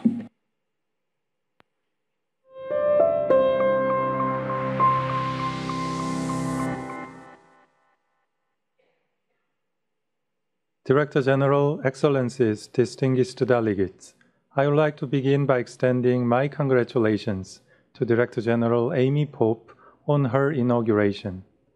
Her historic appointment as the first female leader marks a significant milestone in the history of IOM. The Republic of Korea looks forward to collaborating with the Director General Pope in advancing the IOM's critical mission of ensuring humane and orderly migration. As we gather today, we stand at an inflection point. The international community is grappling with a crisis of an unprecedented scale, exacerbated by the effects of climate change. The rising sea levels and extreme weather events we witness today are more than an environmental phenomenon. They herald a looming displacement crisis of the magnitude the Secretary General Guterres has described as biblical. Last year alone, natural disasters displaced over 32 million people. This accounts for more than half of the world's internally displaced. These numbers speak to the stark reality of the human cost families losing livelihoods, communities being uprooted, and centuries old cultures being put at risk. Therefore, the urgency to strengthen international cooperation to meet the challenge of climate induced migration has never been greater. In this regard, our efforts to combat climate change must be complemented by comprehensive strategies to effectively manage the resulting migration. We must ensure that displaced populations receive the necessary supports to rebuild their lives. Proactively anticipating and addressing the multifaceted challenges of climate induced migration is also critical. In these efforts, we should engage proactively with a broader range of stakeholders. The Sustainable Development Goals have galvanized actors across sectors with resources, innovative technologies, and expertise. It is imperative that we mobilize and coordinate such resources to ensure that human mobility is an integral component of sustainable development. Korea is fully committed to this global effort. We are significantly increasing our humanitarian assistance to mitigate the impacts of disasters and conflicts. In line with our commitment to enhancing the resilience of partner countries, Korea will scale up our Green ODA to exceed the OECD DAC average by 2025. President Yoon Suk-yeol's recent pledge at the G20 summit to contribute $300 million to the Green Climate Fund underscores our dedication to a sustainable, shared future. We also plan to share renewable energy and high efficiency, carbon free energy sources with countries vulnerable to climate change. Through these initiatives, Korea aspires to become a green leader, drawing on the lessons learned from our journey towards economic growth and democratization. As we prepare for our upcoming term on the UN Security Council next year, climate security will be a key priority. We aim to enrich Council deliberations with meaningful data and insights on climate related security dynamics. Let me conclude by encouraging IOM to continue its important work of raising international awareness and tackling the complexities of climate migration. Thank you very much. Thank you. Now I give the floor Ms. Jennifer McIntyre, Assistant Deputy Minister of International Affairs and Crisis Response of Canada. Canada, you have the floor. Monsieur le Président, Excellences, je m'adresse à vous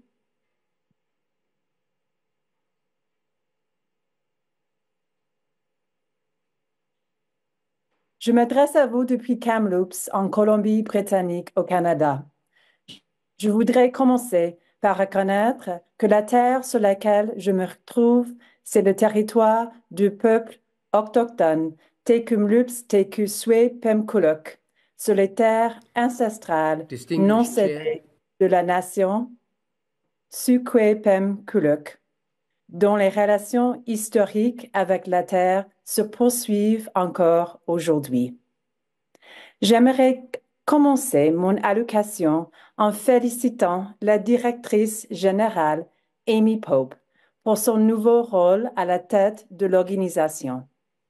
Le Canada se réjouit de poursuivre son partenariat avec l'OIM dans les années à venir. Au nom du gouvernement du Canada, je tiens à exprimer notre gratitude pour l'occasion de discuter des défis posés par les conséquences des changements climatiques sur la mobilité humaine et de chercher des solutions collectives. L'augmentation de la fréquence et de la gravité des catastrophes environnementales est une préoccupation croissante. Le Canada n'est pas à l'abri des effets des changements climatiques. Ces dernières années, les Canadiens et les Canadiennes ont été confrontés à des phénomènes météorologiques extrêmes. En 2023, des feux de forêt d'une magnitude sans précédent ont ravagé plus de 18 millions d'hectares, touchant les 13 provinces et territoires du Canada et qui ont déplacé des personnes et menacé des communautés. Des vagues de chaleur, ont touché la plus grande partie du Canada, même l'Arctique dans le nord. Dans l'ouest, c'est la sécheresse qui nous a affectés. Dans l'est, des ouragans et des inondations ont endommagé ou détruit des habitations, des entreprises et des infrastructures essentielles. Canada souligne la nécessité d'une action urgente en matière de la mobilité humaine induite par les changements climatiques et appelle à des solutions fondées sur des données probantes et axées sur les droits de la personne pour faire face à la réalité des personnes qui restent au pays, ceux qui se déplacent ou ceux qui sont contraintes de se déplacer.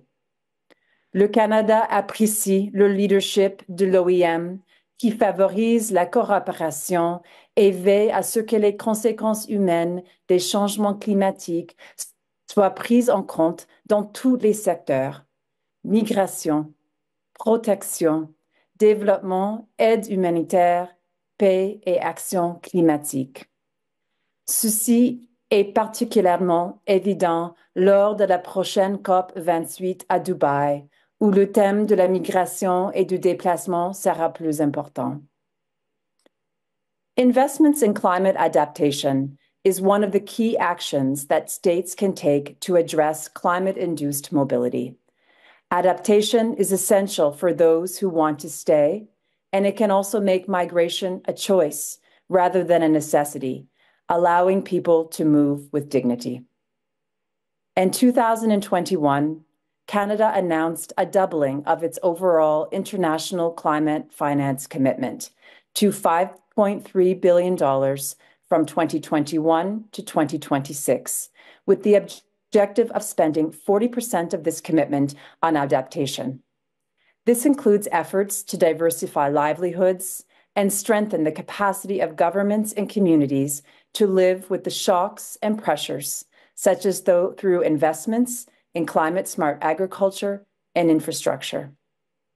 Canada is also investing in projects that aim to strengthen data and the evidence base related to climate mobility, given the importance of further deepening our understanding of who is on the move and people's considerations in deciding whether to move.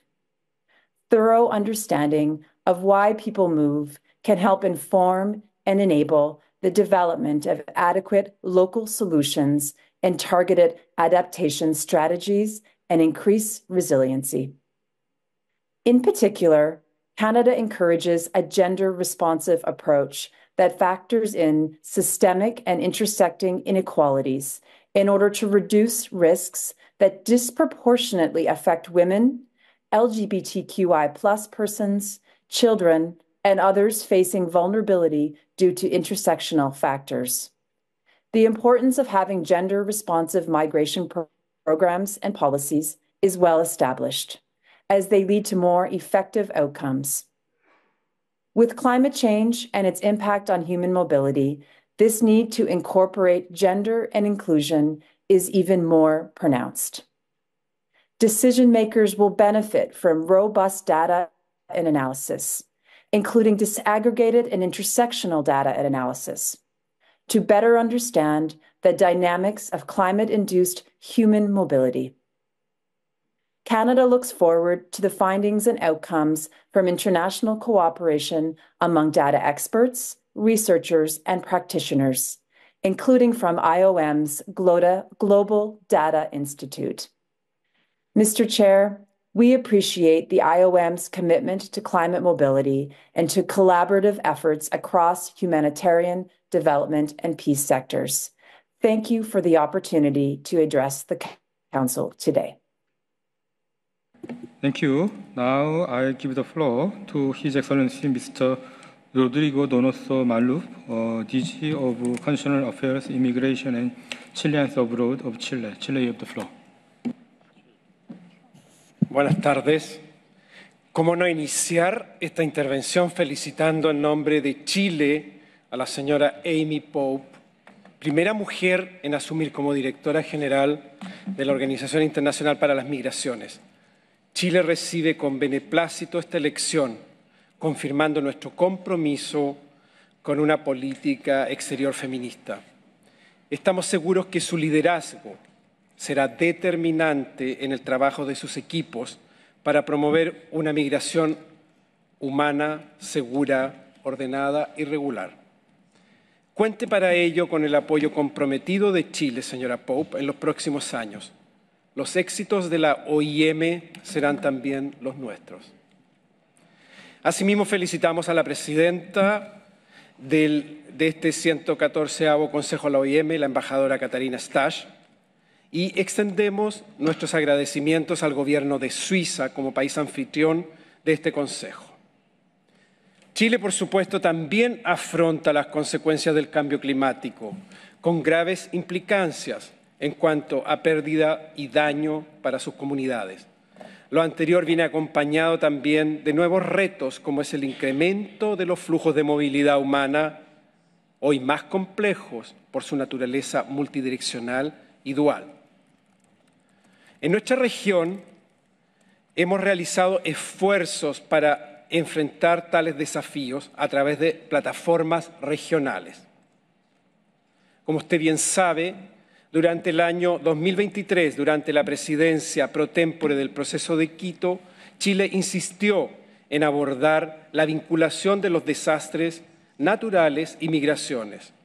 En función de lo anterior, sostuvimos la conferencia regional sobre movilidad humana y cambio climático en Bogotá, Colombia, a principios del presente mes, con el objetivo de promover un espacio para intercambiar experiencias, y levantar sinergias regionales en vísperas de la COP28. Anteriormente, durante el año 2022, periodo en que Chile ejerció la presidencia pro tempore de la vigésima Conferencia Sudamericana de Migraciones, impulsamos la red de trabajo sobre migración, medio ambiente, desastres y cambio climático. De esta forma avanzamos en un plan operativo para crear una estrategia regional de desarrollo humano para las migraciones. Con el resto de los Estados miembros de la CSM consensuamos también el primer posicionamiento conjunto de la Conferencia Sudamericana de Migraciones con, ante las conferencias de las partes de las Naciones Unidas sobre el Cambio Climático en el marco de la COP27. Chile ha estado implementando medidas para anticiparse, adaptarse y mitigar los devastadores efectos del cambio climático. Lo anterior incluye potenciar a las comunidades locales, el rol de la inversión en energías renovables o incentivar la planificación urbana resiliente al clima o la implementación de estrategias para abordar los impactos sociales del cambio climático de la movilidad humana. Estos esfuerzos están siendo impulsados por Chile conforme a la llamada política exterior turquesa, comprometida con el medio ambiente, enfocando la acción climática desde una perspectiva multidimensional, es decir, que incluya tanto los componentes tradicionales de, la protección al medio ambiente terrestre como la protección de los ecosistemas marinos.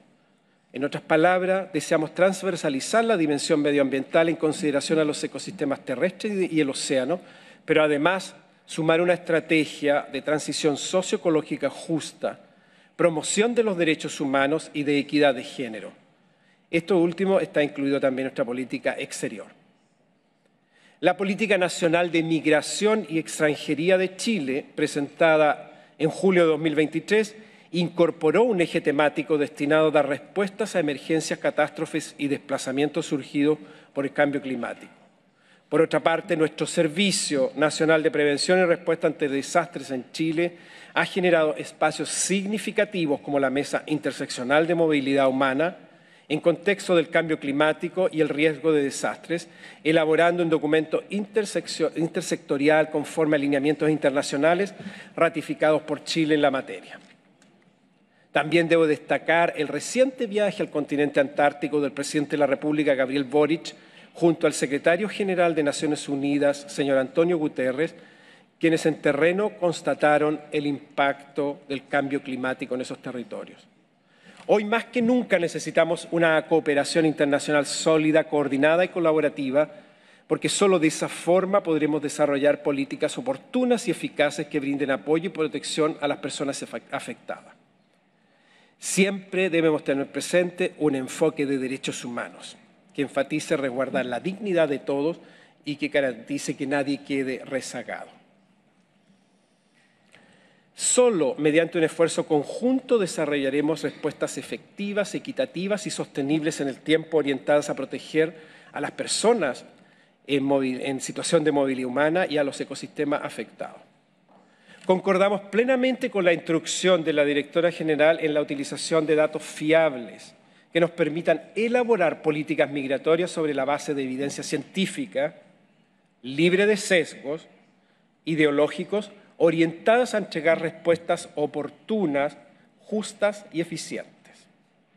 En lugar de limitarnos a solo reaccionar, estamos conscientes que es nuestro deber actuar proactiva y prospectivamente, por cuanto cada vez más los principales motores de la migración son generados por conflictos de pobreza y cambio climático. Al interior de su organización solicitamos, señora eh, directora general, continuar fomentando la distribución geográfica equitativa, de forma que las regiones estén debidamente representadas en la Secretaría de la OIM, haciendo valer sus legítimas preocupaciones e intereses. Por su magnitud y naturaleza, estos desafíos globales solo pueden ser asumidos multilateralmente si es que deseamos soluciones oportunas, eficaces y justas. Muchísimas gracias. Thank you. Now, uh, I'd like to give the floor to Mr. Riteshi Sardjoe, the Permanent Secretary for Environment of Suriname. Suriname, you have the floor. Thank you, Mr. Chair. As Suriname take the floor for the first time, would like to extend our gratitude to the IOM for organizing the 114th session of the Council of Migration and congratulate the new General Director. Her energy brings new dimension to the work of the IOM. As we convene at this council meeting, it is imperative that we recognize the link between human mobility and climate change. Therefore, it is very important to take actions to combat the impacts of global warming and, clim and climate change and the responsibility we bear to make the world more climate friendly, and resilience for the future generations. Suriname's forests are of global importance, both as a biodiversity hotspot and a carbon sink. The efforts to protect its natural resources are key to the country's commitments.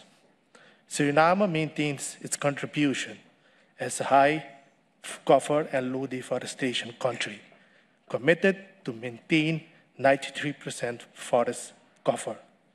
Significant international support is needed for the conservation of this valuable resource perpetuity. Suriname's forests store approximately 20 million ton CO2 and it's one of the carbon negative countries. On the other hand, Suriname is a low-lying coastal state prone to natural disasters and climate change. According to estimates, a one meter sea level rise would have impact on 80% of its population who lives along the low-lying coast. Moreover, indigenous and maroon communities are also at risk, considering the economic situation and location in remote areas where extreme drought and floods has been recorded in the past. Vulnerability assessments, including impact assessment and climate scenarios, have been conducted, leading to some proposed associated adaptation measures for the following sectors energy, water resources, agriculture, cross-cutting, including biodiversity and forestry. It is time for action, bold, decisive, and immediate. We call upon the international community to mobilize the necessary resources for adaptive adaptation finance. Developing countries like Suriname has been affected by the effects of climate change, subsequently requiring adequate assistance to build resilience, implement eh, sustainable practices, and adapt to the infinity changes that climate change brings to us. Adequate and accessible funds, funding mechanism must be established to support adaptation actions at the local, national, and international levels. This includes investment in early warning systems, infrastructure resilience, capacity building initiatives. The global community must fulfill its commitments to mobilize climate finance, recognizing that the cost of inaction far exceeds the cost of adaptation. I thank you. Thank you. Now I give the floor to Mr. Muktesh uh, K. Pardeshi, Secretary, Ministry of External Affairs of India.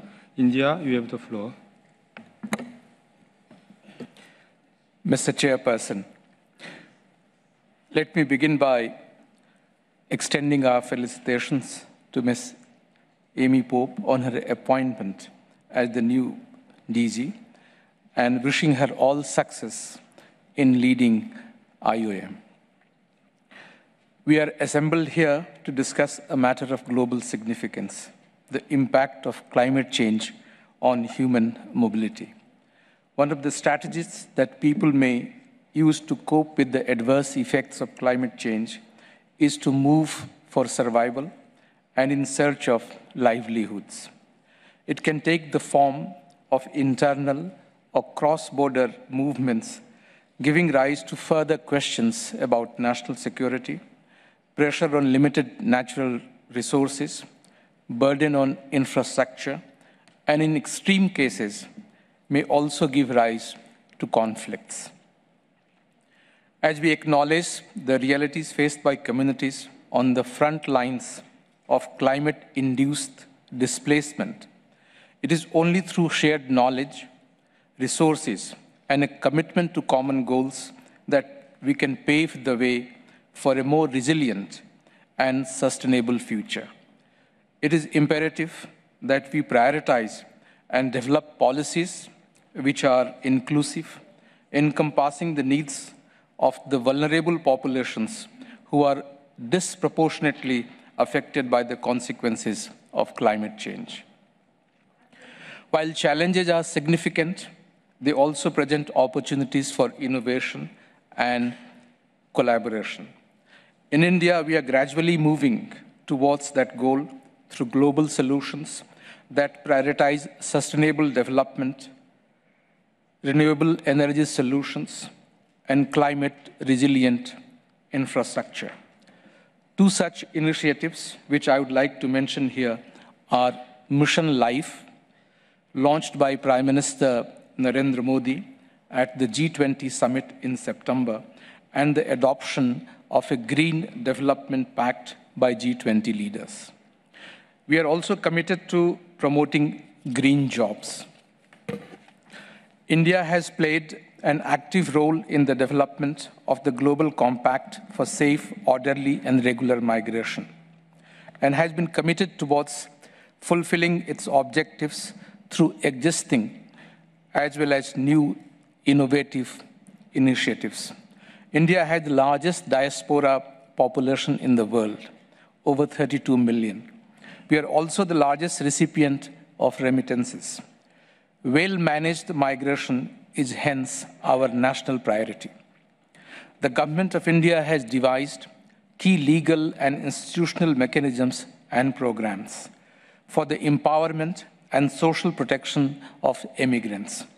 They are the Immigration Act of 1983, e-migrate platform, which is a one-stop source of information on overseas employment, Indian Community Welfare Fund, which is managed by all our Indian missions abroad for assisting Indians in distress, insurance scheme for all departing workers, skill enhancement program, pre-departure orientation training, 24 by help, 24 by 7 help centers, and active diaspora engagement schemes. At the same time, the government has focused on improving the presence of highly skilled workers and professionals through mutually beneficial arrangements with countries all over the world. We are committed towards further strengthening skills and competencies of our immigrants to ensure greater mobility, employability, and readiness to contribute to the global workforce. India has been cooperating with several countries through bilateral agreements to improve mobility governance. India commends the role and contribution of the IOM as the primary global migration management organization. We align ourselves with the objectives of the IOM as well as its various program, projects, and events. In this spirit of supporting the core objectives of IOM, India has proposed two issues which have already been included in the program governance and organizational priorities of IOM. I would like to thank IOM for this. These two issues are way forward on social security portability and identifying global skill gap. Under India's G20 presidency, which concludes later this week, G20 leaders have committed to address skill gap and ensuring inclusive social protection policies for all. India stands ready to contribute actively to collaborative global efforts, recognizing that only through vigorous data analysis, fostering international dialogues, and close cooperation can we effectively address the impact of climate change on human mobility. The road ahead is challenging, but with collective determination, we can forge a sustainable and resilient future. I thank you for your attention. Thank you. Now I give the floor Mr. Abraham K. Mendy, uh, Deputy Permanent Secretary of the Ministry of the Interior of Gambia. Gambia, you have the floor.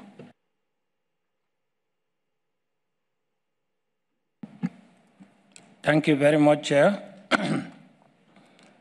Chair, may I take this opportunity to congratulate Madam Pope for her new position and wish her well with her team. Uh, Director General, may I bring to your attention that uh, your office in Banjul are doing great in complementing government efforts in addressing uh, migration, particularly in the borders. Excellencies, ladies and gentlemen, on behalf of Gambia government, my delegation wishes to express sincere appreciation to the donor partners and IOM for convening the high-level segment of the 114th session of the Council on the theme Climate Impact on Human Mobility, a Global Call for Solutions. We also wish to express our appreciation for facilitating the participation of the developing countries to this session. Distinguished ladies and gentlemen, this is an opportunity for us as member states to discuss critical solutions to respond to challenges relating to human mobility, displacement, migration, and climate change crisis.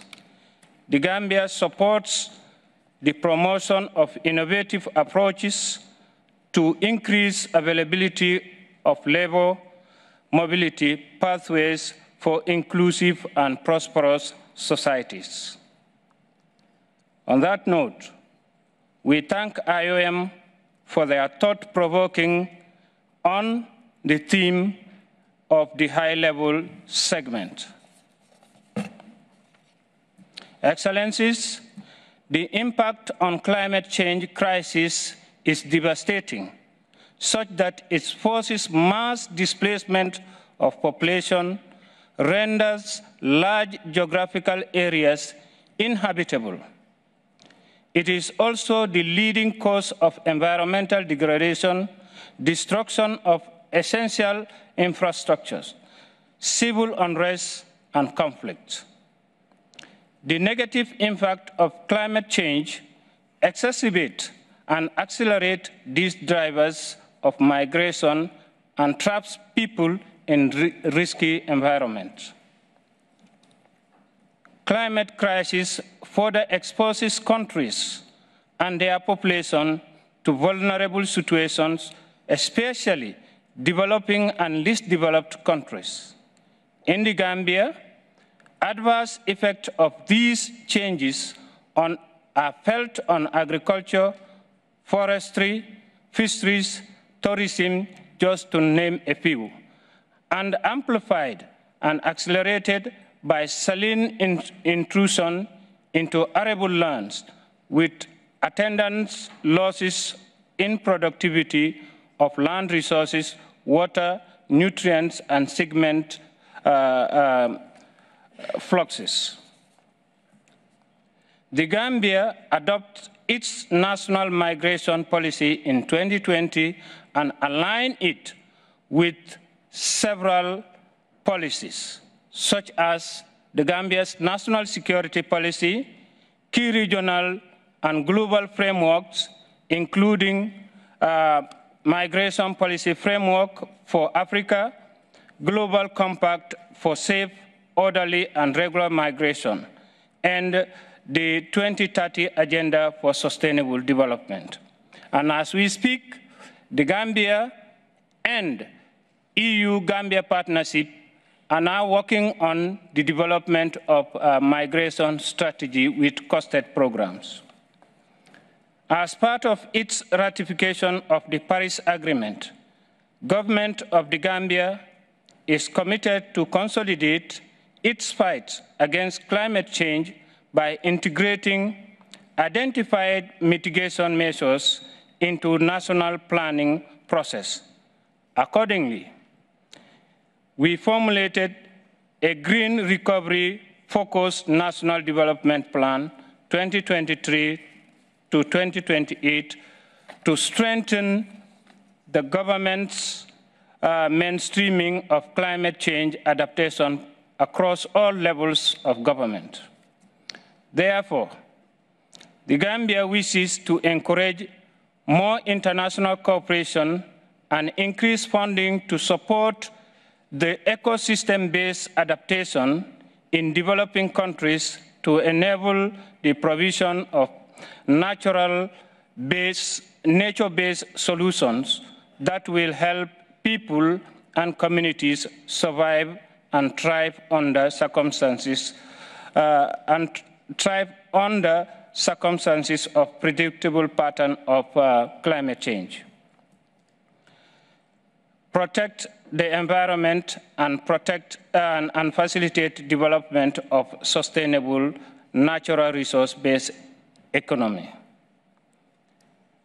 Chairperson, Excellencies, to conclude, we, we call on partners and IOM to increase technical assistance to developing, developing and least developed countries on a large scale, eco-based adaptation with a view to solve, mitigate threat to agriculture, food security, economic growth, and avert the dangers of climate change on human livelihood. Thank you very much. Thank you. Now I give the floor His Excellency uh, Madudu Isaac Akaji, Deputy Permanent Secretary of the Ministry of Home Affairs of United Republic of Tanzania. Tanzania, you have the floor. Dear Madam Chairperson, I have the honor to deliver this statement on the behalf of United Republic of Tanzania. And first of all, we would want to congratulate you, Director General Amy Pope, on your election for being the Director General of the IOM. We wish you all the best. I wish to express our sincere appreciation for the invitation to participate in this important fora that brings together state and non-state actors to mitigate the impact of climate change on human mobility. Chairperson, in East Africa, specifically Tanzania, studies have revealed that drought, severe rain cycles have become more prevalent, frequent, and regular, as well as intensive, due to the global climate change and environmental degradation. These affect mostly the pastoralist and semi-pastoralist communities in the region and in Tanzania in particular. The impact of climate change to human mobility must be addressed jointly in order to enhance full implementation of the objectives of the Global Compact on migration and guarantee a safe, orderly, and regular migration. Chairperson, the United Republic of Tanzania recognizes that the responsibility for every state to protect the international migrants affected by climate change must be emphasized. This should be done in their countries of origin, on transit, and upon reaching their final destination. Madam Chairperson and Director General, in order to realize protection as such, we should strive to review and align our policies and practices to reflect regional and international standards for the provision of maximum protection and support to whoever is affected by the climate change by guaranteeing their safe and dignified entry, stay, and passage into our countries. Chairperson, while implementing such measures, agreeably, there is a need to strengthen data collection systems and conducting research on effects of uh, climate change to migrant mobility and sharing best practices globally in order to have informed and scientific decision making, and in such a way we can have effective policies which are sustainable and as well uh, as strategic responses. We therefore appeal to the IOM and other UN agencies to continue strengthening their responsiveness to climate change, which is affecting mostly African continents, as well uh, specifically Tanzania. We also uh, uh, recognize, we, we also advise on assisting member states in strengthening resilience of communities facing such disasters. Finally, Chairperson, the United Republic of Tanzania assures its commitment in supporting and implementing initiatives and programs in place, both short-run, medium, and long-term, in order to mitigate the impact of climate change on human mobility at the regional and international levels. Madam Chairperson, I thank you so much. Thank you. now I give the floor to Ms. Uh, Cristina uh, Probst Lopez, Head of International Cooperation of uh, State Secretariat for Migration. Uh, Switzerland, you have the floor. Merci, Monsieur le Président. Monsieur le Président, Madame la Directrice Générale, Excellences, chers collègues, les accords internationaux tels que l'accord de Paris sur le climat jouent un rôle décisif en créant un cadre juridique permettant d'aborder les défis liés au changement climatique, y compris son impact sur la migration et les déplacements forcés. La mise en œuvre effective de ces accords et la traduction des engagements pris par des actions concrètes demeurent cependant un véritable défi. Face à la complexité des effets et aléas liés au changement climatique, mais aussi à la multitude d'acteurs impliqués dans la gestion de ce phénomène, une coordination internationale et une excellente coopération des multiples acteurs concernés, que ce soit au niveau national, régional, mais aussi global, est impérative. Les agences onusiennes comme l'OIM jouent un rôle crucial dans la facilitation de cette coopération en fournissant une plateforme pour le dialogue, en aidant à développer des solutions concertées et à les mettre en œuvre. Nous saluons le fort engagement de l'OIM sur cette thématique complexe et l'assurons du soutien continu de la Suisse. La Suisse est sensible aux enjeux liés à la migration induite par les conséquences du changement climatique. En 2012 déjà, conjointement avec la Norvège, nous lancions l'initiative Nansen, dont l'objectif était d'améliorer la protection des personnes contraintes de quitter leur pays en raison de catastrophes naturelles et des conséquences négatives du changement climatique. Dans le cadre de la plateforme sur les déplacements forcés liés aux catastrophes, la Suisse s'engage toujours activement pour une meilleure protection des personnes contraintes à fuir au-delà des frontières dans le contexte des catastrophes naturelles et du changement climatique. Permettez-moi ici de partager trois aspects sur lesquels nous mettons l'accent dans le cadre de nos programmes de coopération internationale. Tout d'abord, accroître la capacité d'adaptation et renforcer la résilience pour adresser de manière préventive les effets croissants du changement climatique, renforcer les connaissances sur le changement climatique et garantir un accès à l'information sur les options de mobilité. Deuxièmement, mettre l'accent sur la protection des personnes affectées par le changement climatique, y inclut les migrants, en particulier les femmes et les filles. Pour terminer, inclure les acteurs locaux. Selon notre expérience, ce sont les acteurs sur place qui sont le mieux placés pour identifier les besoins des personnes déplacées et les intégrer dans la mise en œuvre de solutions. J'aimerais terminer par remercier à nouveau l'OIM pour son engagement sur ces questions essentielles et vous assurer du soutien de la Suisse dans le cadre de l'élaboration de solutions communes et inclusives. Merci de votre attention.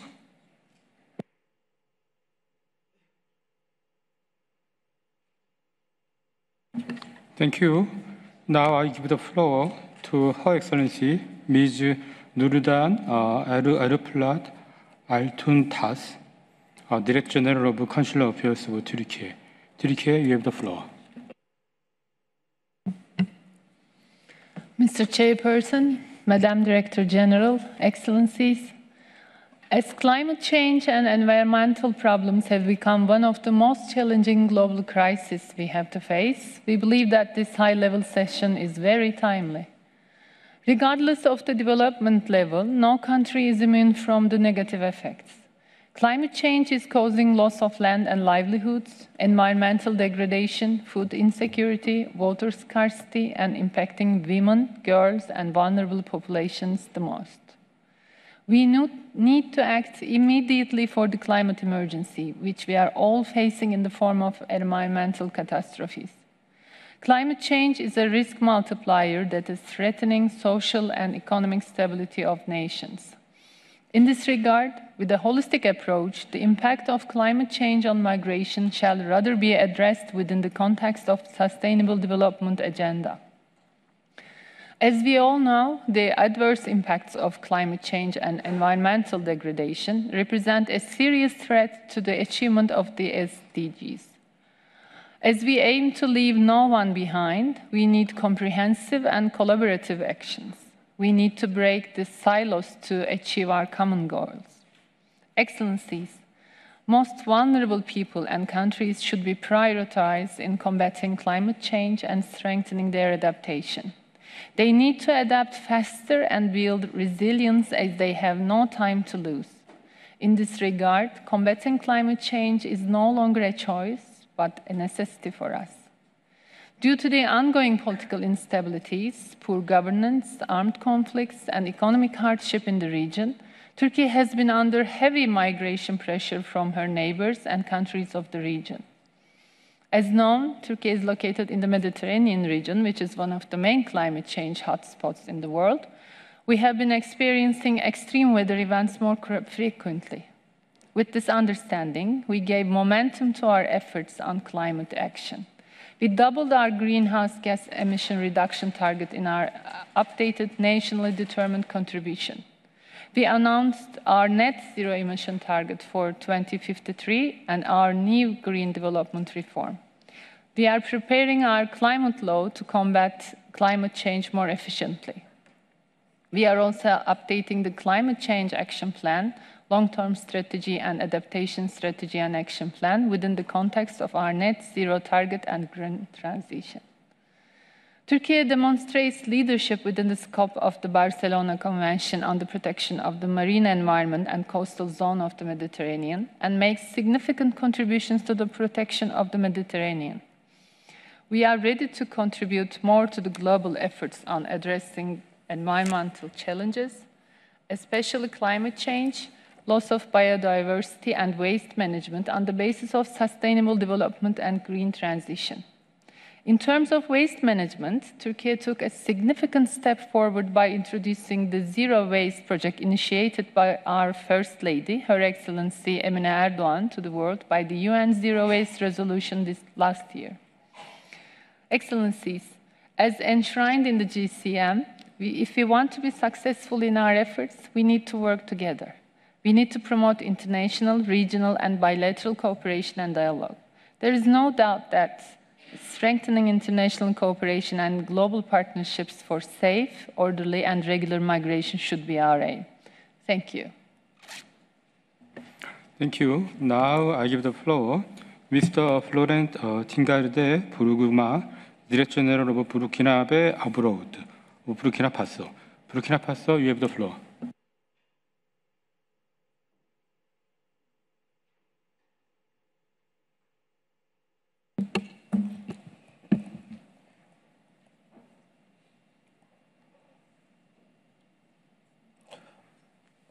Monsieur le Président, Madame la Directrice Générale, distingués participants, permettez-moi de saluer la tenue effective de ce débat de haut niveau sur l'appel mondial en faveur de la recherche de solutions contre les effets des changements climatiques.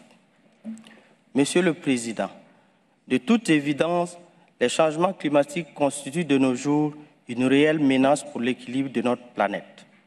Ils font partie des facteurs qui exacerbent la mobilité humaine sous toutes ses formes. Mieux, la dynamique de la dégradation continue du couvert végétal, due aux facteurs climatiques et anthropologiques, occasionne le départ des populations vers des zones aux conditions environnementales et climatiques plus favorables. Le Burkina Faso, pays sahélien au cœur de l'Afrique de l'Ouest, n'échappe pas à cette donne qui demeure l'une des principales causes de la mobilité de ces populations. C'est en raison de ce constat que le Burkina Faso a activement soutenu en août 2023 à Nairobi au Kenya l'élaboration de l'extension continentale de la déclaration ministérielle de Kampala sur les migrations, l'environnement et le changement climatique qui a abouti à l'adoption et à la signature d'un addendum par l'ensemble des États membres de l'Union africaine.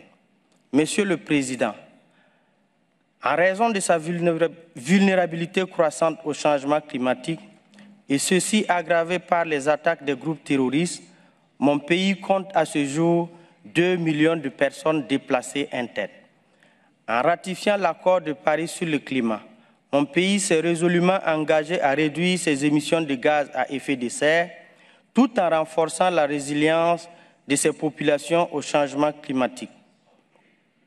À cet égard, il me plaît de signaler que mon pays a déjà adopté un document cadre de contribution prévu déterminé au niveau national à l'horizon 2030 qui définit notre stratégie nationale de lutte contre les effets des changements climatiques. Cette stratégie nationale comprend une composante d'atténuation des émissions de gaz à effet de serre et une composante d'adaptation grâce aux investissements dans les secteurs vulnérables en vue de renforcer la résilience du pays face au changement climatique. Monsieur le Président, la problématique posée par les effets des changements climatiques sur la mobilité humaine n'est pas nouvelle sous l'égide de l'Organisation internationale pour les migrations, cette question a pu, de manière constante, a pu retenir de manière constante l'attention de la communauté internationale en joignant à la table des discussions toutes les parties prenantes. Elle a souvent fait l'objet d'échanges enrichissants, desquels des recommandations fortes ont été adoptées, dont le principe du partage des responsabilités découlant de la mise en œuvre effective du pacte mondial sur les migrations sûres, ordonnées et régulières. Monsieur le Président, il est de notre responsabilité collective de parvenir à anticiper les changements à court, moyen et long terme sur le climat, la sécurité alimentaire et la mobilité humaine en identifiant les zones à fort risque pour passer d'une adaptation réactive à une prise de décision anticipative. Pour ce faire, nous avons besoin de renforcer notre collaboration au niveau régional et international afin d'améliorer la disponibilité et la qualité des données pour nous permettre d'avoir de bonnes prédictions ainsi que des analyses prospectives de qualité. Il nous revient également de renforcer les capacités locales et les mesures d'adaptation à long terme dans les secteurs de l'agriculture et de l'élevage pour promouvoir la résilience des populations locales et renforcer la sécurité alimentaire en tant que facteur d'atténuation des conflits et des déplacements futurs. Monsieur le Président, c'est le lieu pour moi de féliciter l'OIM qui, en tant que principal agent du système des Nations Unies chargé des migrations, est aujourd'hui en première ligne des efforts opérationnels sur la recherche et la sensibilisation pour placer la migration environnementale, au cœur des préoccupations internationales, régionales et nationales. Au Burkina Faso, nous travaillons avec l'OIM pour l'intégration des questions migratoires et environnementales au niveau des collectivités territoriales. Nous espérons poursuivre cette collaboration fructueuse car il est aujourd'hui crucial d'intégrer les migrations climatiques internes dans un cadre de planification prospective orienté vers une transformation structurelle à même de renforcer la résilience des, des communautés les plus affectées en recherchant des solutions durables à leur situation. Je vous remercie.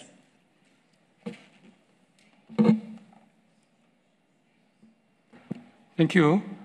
Now we move to the uh, Ms. Uh, Celeste Drake, Deputy Director General of International Labour Organization. Uh, DDG Drake, you have the floor. Thank you. Excellencies, Director General Pope, Mr. Chair, colleagues from UN agencies, and friends from civil society. Thank you for this opportunity to intervene on this extremely important topic. Climate change is already affecting human mobility, including labor migration, and it's not a future threat, it's a current threat.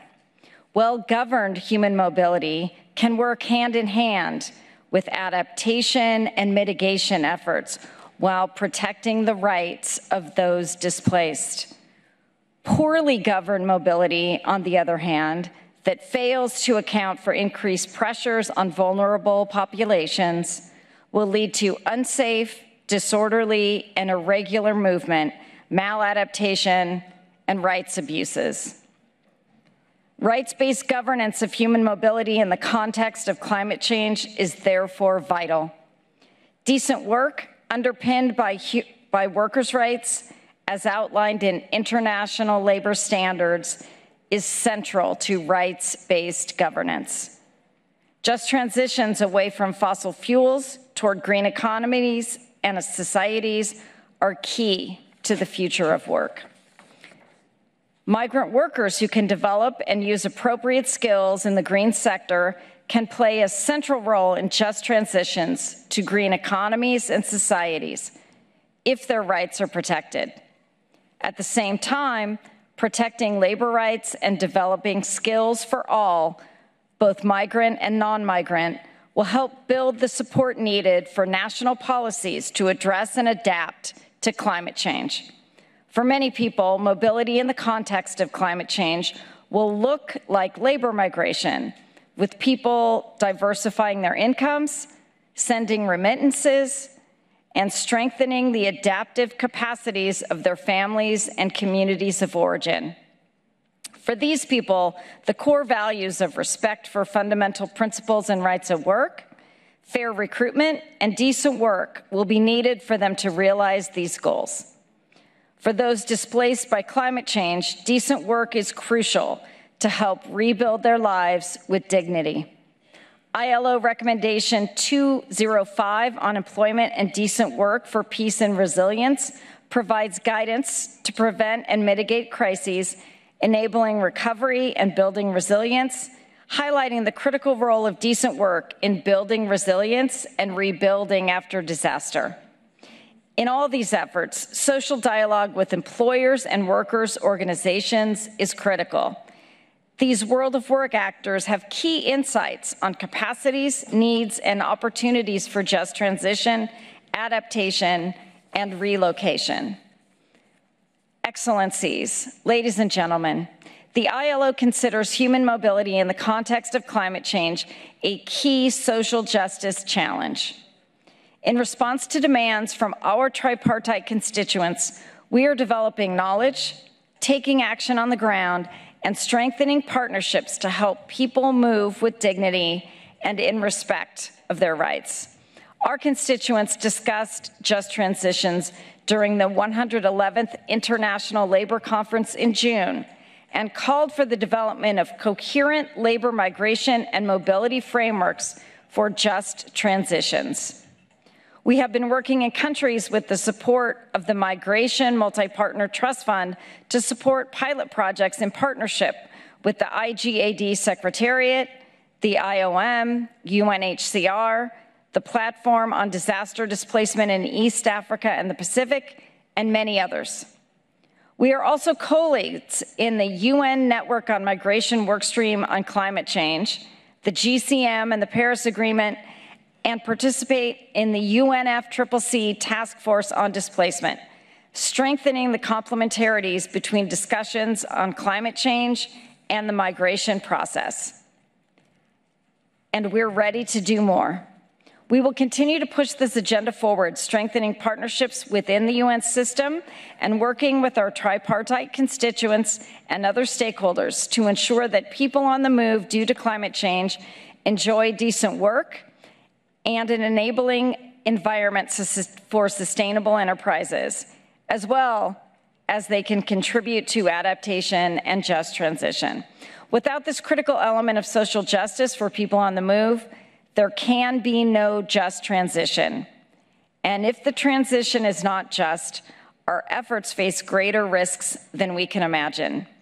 Without decent work, migration cannot work for adaptation or rebuilding after catastrophic loss and damage. And without social dialogue, we will never understand the full extent of how migrant workers can support just transitions. But together, employers, workers, and governments, we can address the climate challenges we face while promoting social justice and decent work. Thank you. Thank you. Now I give the floor Her Excellency, Ms. Elizabeth Taylor J, Vice Minister for Multilateral Affairs of Colombia. Colombia, you have the floor.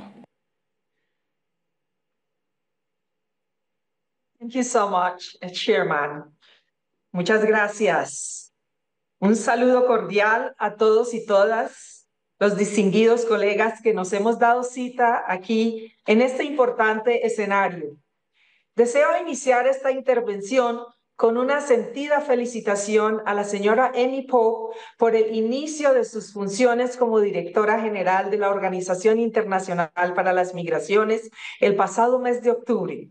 El gobierno de Colombia quiere aprovechar esta oportunidad para manifestar todo nuestro apoyo y desearle los mejores éxitos en su gestión al frente de la OIM.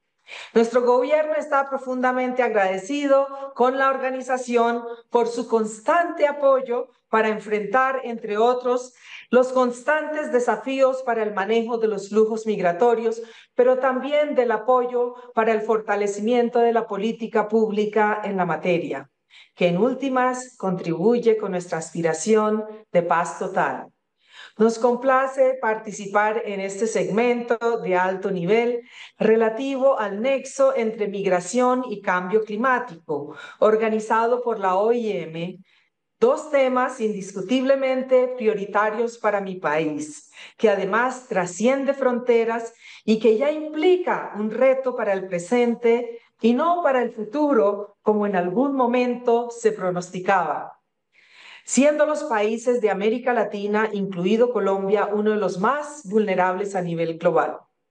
El sexto informe de evaluación del Grupo Intergubernamental de Expertos sobre el Cambio Climático, IPCC, de las Naciones Unidas, reconoce los efectos adversos del cambio climático y sus vínculos con el desplazamiento y migración en todas las regiones de nuestro planeta. Las cifras son dramáticas. El último informe del Centro de Monitoreo del Desplazamiento Interno del 2023 señala que para las Américas, el número de personas desplazadas internamente por motivo de desastres en 2022 se estima en más de 2 millones, de los cuales Colombia representa 281 mil, la segunda cifra más alta desde el año 2008. Colombia como país bioceánico con costas en el Caribe y en el litoral pacífico que se extienden en su conjunto por más de 4.000 kilómetros, así como la región insular, ya están experimentando los impactos adversos del cambio climático, incluyendo, entre otros, la erosión costera y la misma amenaza existencial del evidente aumento en el nivel del mar. Por otro lado, y en relación con la variabilidad climática, desde mediados del 2023 nos venimos preparando para hacer frente a los efectos del fenómeno del niño que puede verse exacerbada con el cambio climático, incluyendo posibles sequías prolongadas en algunas regiones de nuestro país que nos han obligado además a tomar medidas tempranas de precaución y alerta. Sin embargo, este es un fenómeno que puede producir afectaciones a cientos de miles de familias, incluyendo tanto los eventos climáticos extremos como los de lenta evolución, así como la degradación ambiental, afectan directamente los modos de vida de las comunidades y sus fuentes de sustento incluida la seguridad alimentaria y nutricional, convirtiéndose así en motores de migración y desplazamiento. A medida que empeoran los em, impactos del cambio climático y aumentan los desplazamientos, necesitamos innovar y ampliar las fuentes de financiación concesional para abordar sus efectos negativos. Debemos evitar el aumento de las pérdidas y daños colaterales, para lo cual se deben garantizar que las promesas de financiación climática se cumplan mediante la movilización de fondos dedicados a la adaptación y a la mitigación. Desde Colombia estamos totalmente comprometidos a impulsar la agenda internacional en temas de movilidad humana y cambio climático, bajo el convencimiento de que la región posee elementos significativos para aportar al proceso de negociación de la COP28 que está muy cercana.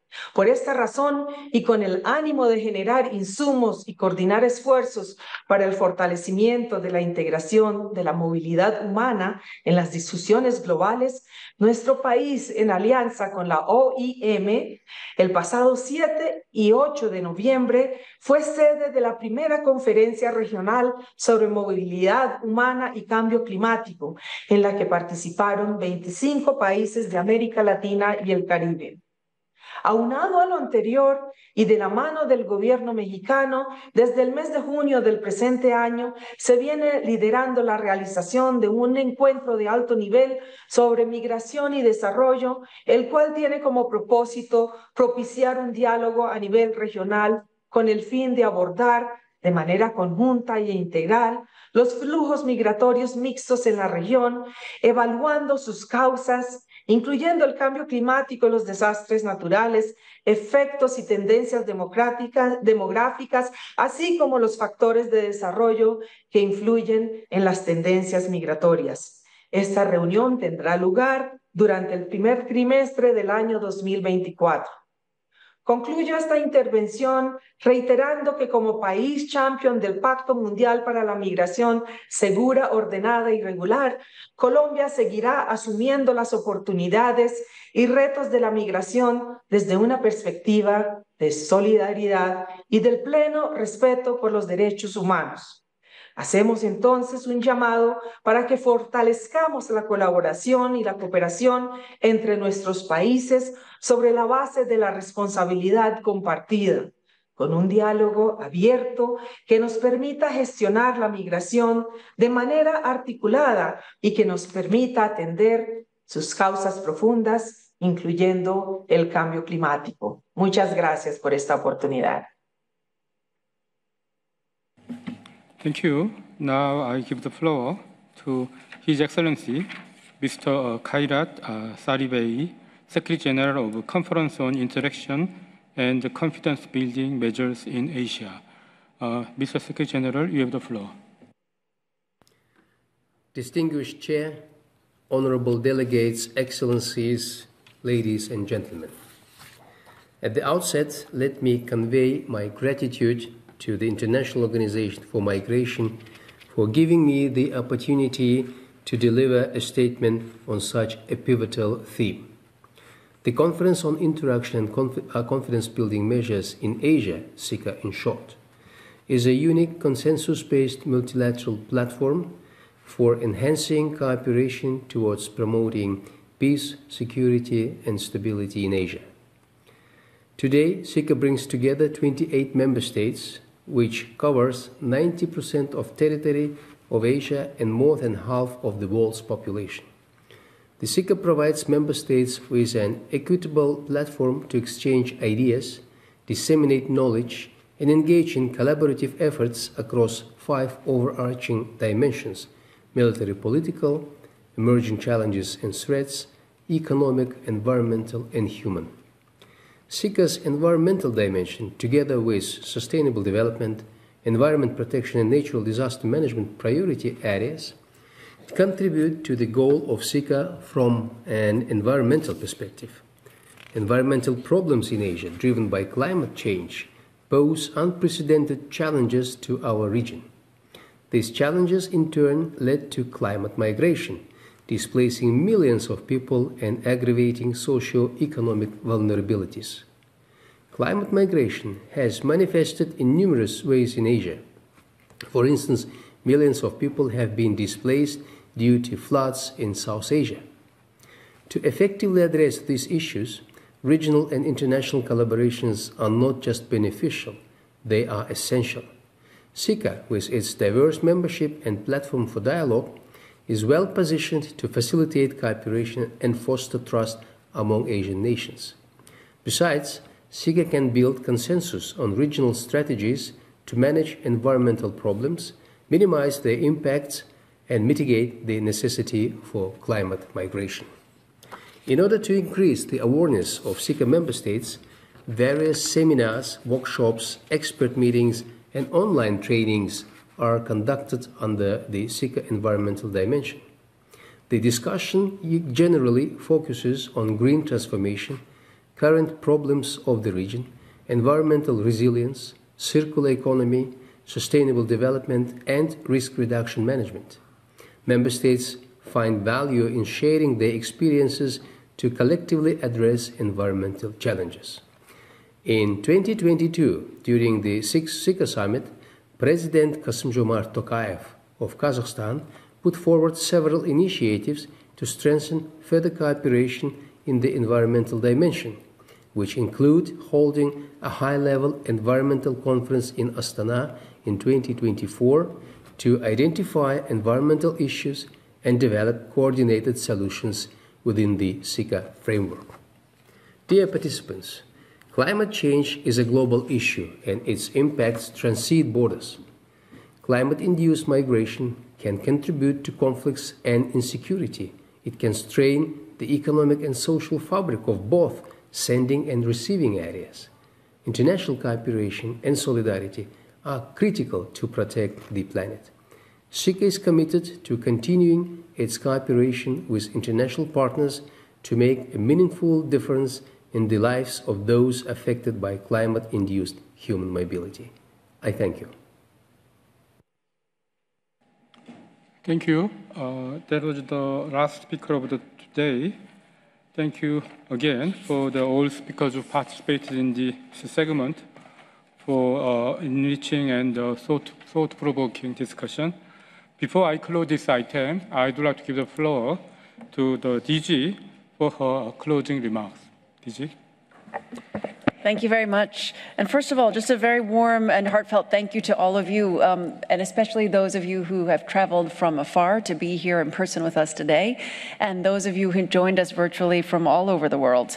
I think it's clear to everyone in the room that um, the scale and the severity of climate change is one that simply cannot be ignored, and the impact of climate in terms of the displacement, particularly of vulnerable communities, is one that should lead us all to take very urgent action.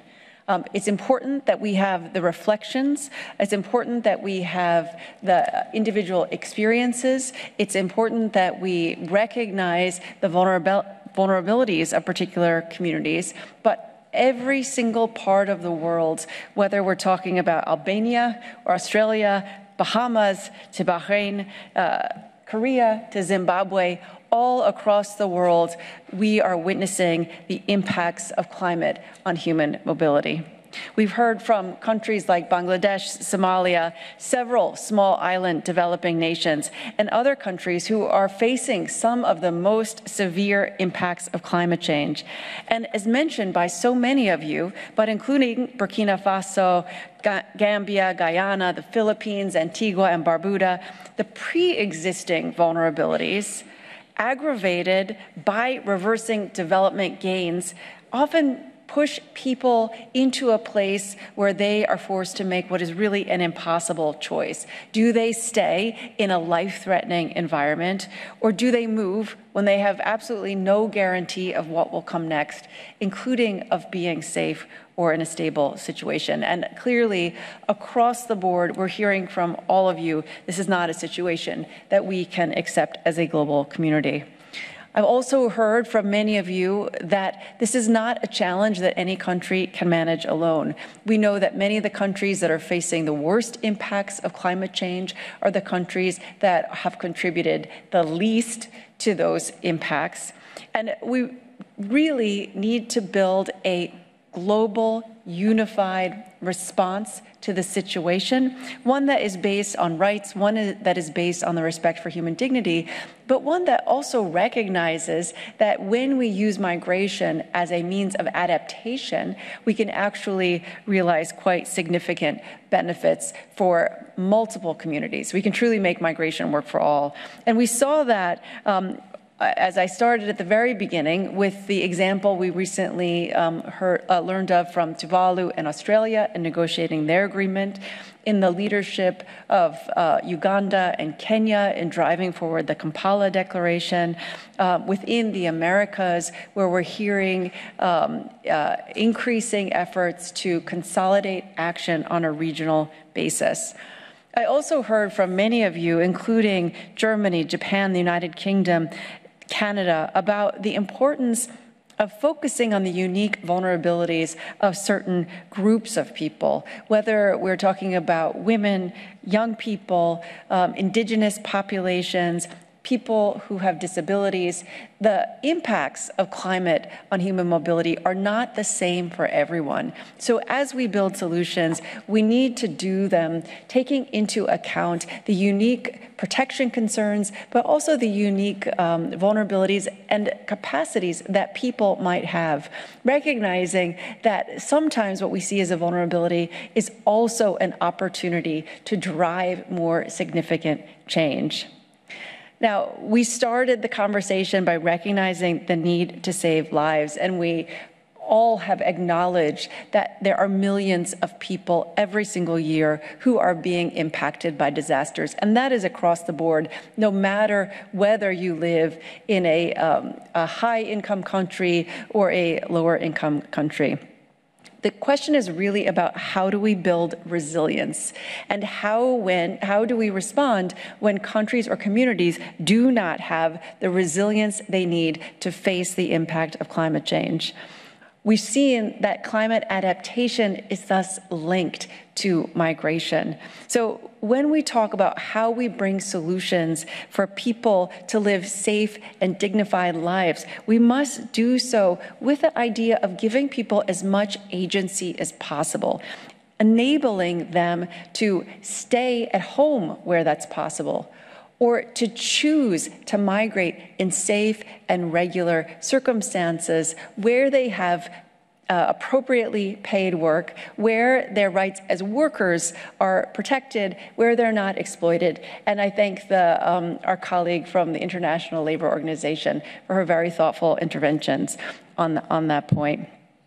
We also know we cannot reverse the damage that has already taken place, but we can work together to make sure these impacts do not get worse. And so we at IOM join the chorus of voices of organizations around this UN family, urging states to create this new fund on loss and damage that will cover the gaps that we know exist. These are gaps that we are seeing play out in real time, particularly when it comes to issues like access to water, water scarcity, water flooding, uh, desalination of water. Water is at the heart of so much of these conversations, and particularly we know both fuels conflict but also can be exacerbated when we're dealing with communities that already have faced conflict in the past. We also have recognized, and I thank the government of the Philippines for acknowledging the importance of building out more regular uh, pathways for persons. And I want to acknowledge the Philippines as well for the effort they've put in to really implementing the Global Compact on Safe, Orderly, and Regular Migration and and creating a department that focuses on protecting the rights of workers um, who are going uh, across the world to, to work and particularly in the face of the climate vulnerabilities that that country is facing. This is a good model that is relevant to many, many countries. And uh, as eloquently said by the governments of Zimbabwe, Botswana, Guyana, the Netherlands, and the EU, EU as well as many others, climate finance must be made available to those who are the most vulnerable.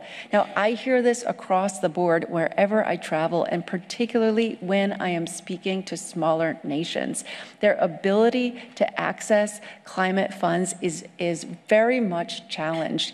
Some of it is bureaucracy, some of it is complexity, some of it is having the skills and the capacity to put together the proposals. But we are failing on this point. And if governments do not have resources to help their communities adapt, then we know that the cost to everyone, both in terms of finances, but also in terms of human lives, will be much, much higher. So across the board, we urge every government, all of our partners within the UN agency family, all of our partners within civil society to put climate impact in the work we do, whether it's on migration management, labor migration, migration policy, development goals. And the Global Compact for Safe, Orderly, and Regular Migration gives us a blueprint for how to do this. So the good news, excellencies, ladies and gentlemen, is that you have already done the hard work. You have already put together a document that gives us a way forward. So our goal is now to find ways to implement, to put action behind the words. We also have put together a climate mobility roadmap, and we are creating these climate mobility innovation labs in Africa and in Asia. And the goal here is not to get stuck in old ways of doing things. We know that this is a challenge that is new, that requires innovative thinking, that requires the input, especially of young people who will be the most impacted. But we want to bring together the best minds, the best ideas, the best energy so that we can build solutions. Start small. We think big, we start small, and then we scale up when we know it works. And we ourselves within the International Organization for Migration are going to put our money where our mouth is um, to build the tools, to work with the tools that now exist so that we can do a better job of helping all of you take action before your communities are displaced. Now, COP28 is later this week. After this um, session, the council concludes tomorrow afternoon, I will be getting on an airplane to head out to COP28. I know some of your governments will also be there, and I look forward to the conversations that will happen there, but we recognize that conversations are not enough. What we really want is action. So I take this moment to recognize the great work that has happened to date, but I also take it as a moment where we measure the baseline. And we say next year, when we come back together, we want to demonstrate that we have advanced. I don't care about your advancements in rhetoric. I want your advancements in action. And that is a, a, goal for all of us. It is a challenge for all of us within this community to set for ourselves. And we're looking for action that enables people to stay, enables people to move in, with dignity in safe and orderly ways, and to support people who have already been displaced, who are already on the move. We will be ready. Now, in the meantime, I invite you all to join us for a reception to celebrate all of you, to thank all of you for your investment in this work and in this organization and in the communities, um, especially those that are the most vulnerable. And for those of you who want to test your mettle against a four time Olympic gold medalist, I invite you to a 3K fun run tomorrow morning at 7:45 at the Parc de la Perle du Lac. 7:45. Sir Mo Farah will be there, and I'm going to have my running shoes on. So I welcome each and every one of you. If you're up for the challenge, come on over. 7:45. We'd love to see you, and I look forward to seeing you soon at the reception. Thank you very much. Yeah. So, uh, uh, thank you very much for the delegation for participating in this discussion. I'm going to be very brief, so wait just a second. Uh, tomorrow morning, we'll continue with the general debate, starting at 10 o'clock uh, in the morning, a.m. And uh, one public message, allow me to mention that tomorrow morning at 9 a.m., a side event on the Darien Gap yeah, Darien Gap, organized by the, the Permanent Mission of Panama, will take place uh, in room four of this building, and they say that the copy will be offered to participants. And uh, as, you, as just DG uh, explained, mentioned, there will be reception organized by the, the Swiss Federal Council State Council of the Republic, of, Republic and Canton of Geneva and the Executive Council of the City of Geneva. Please join the reception. Thank you.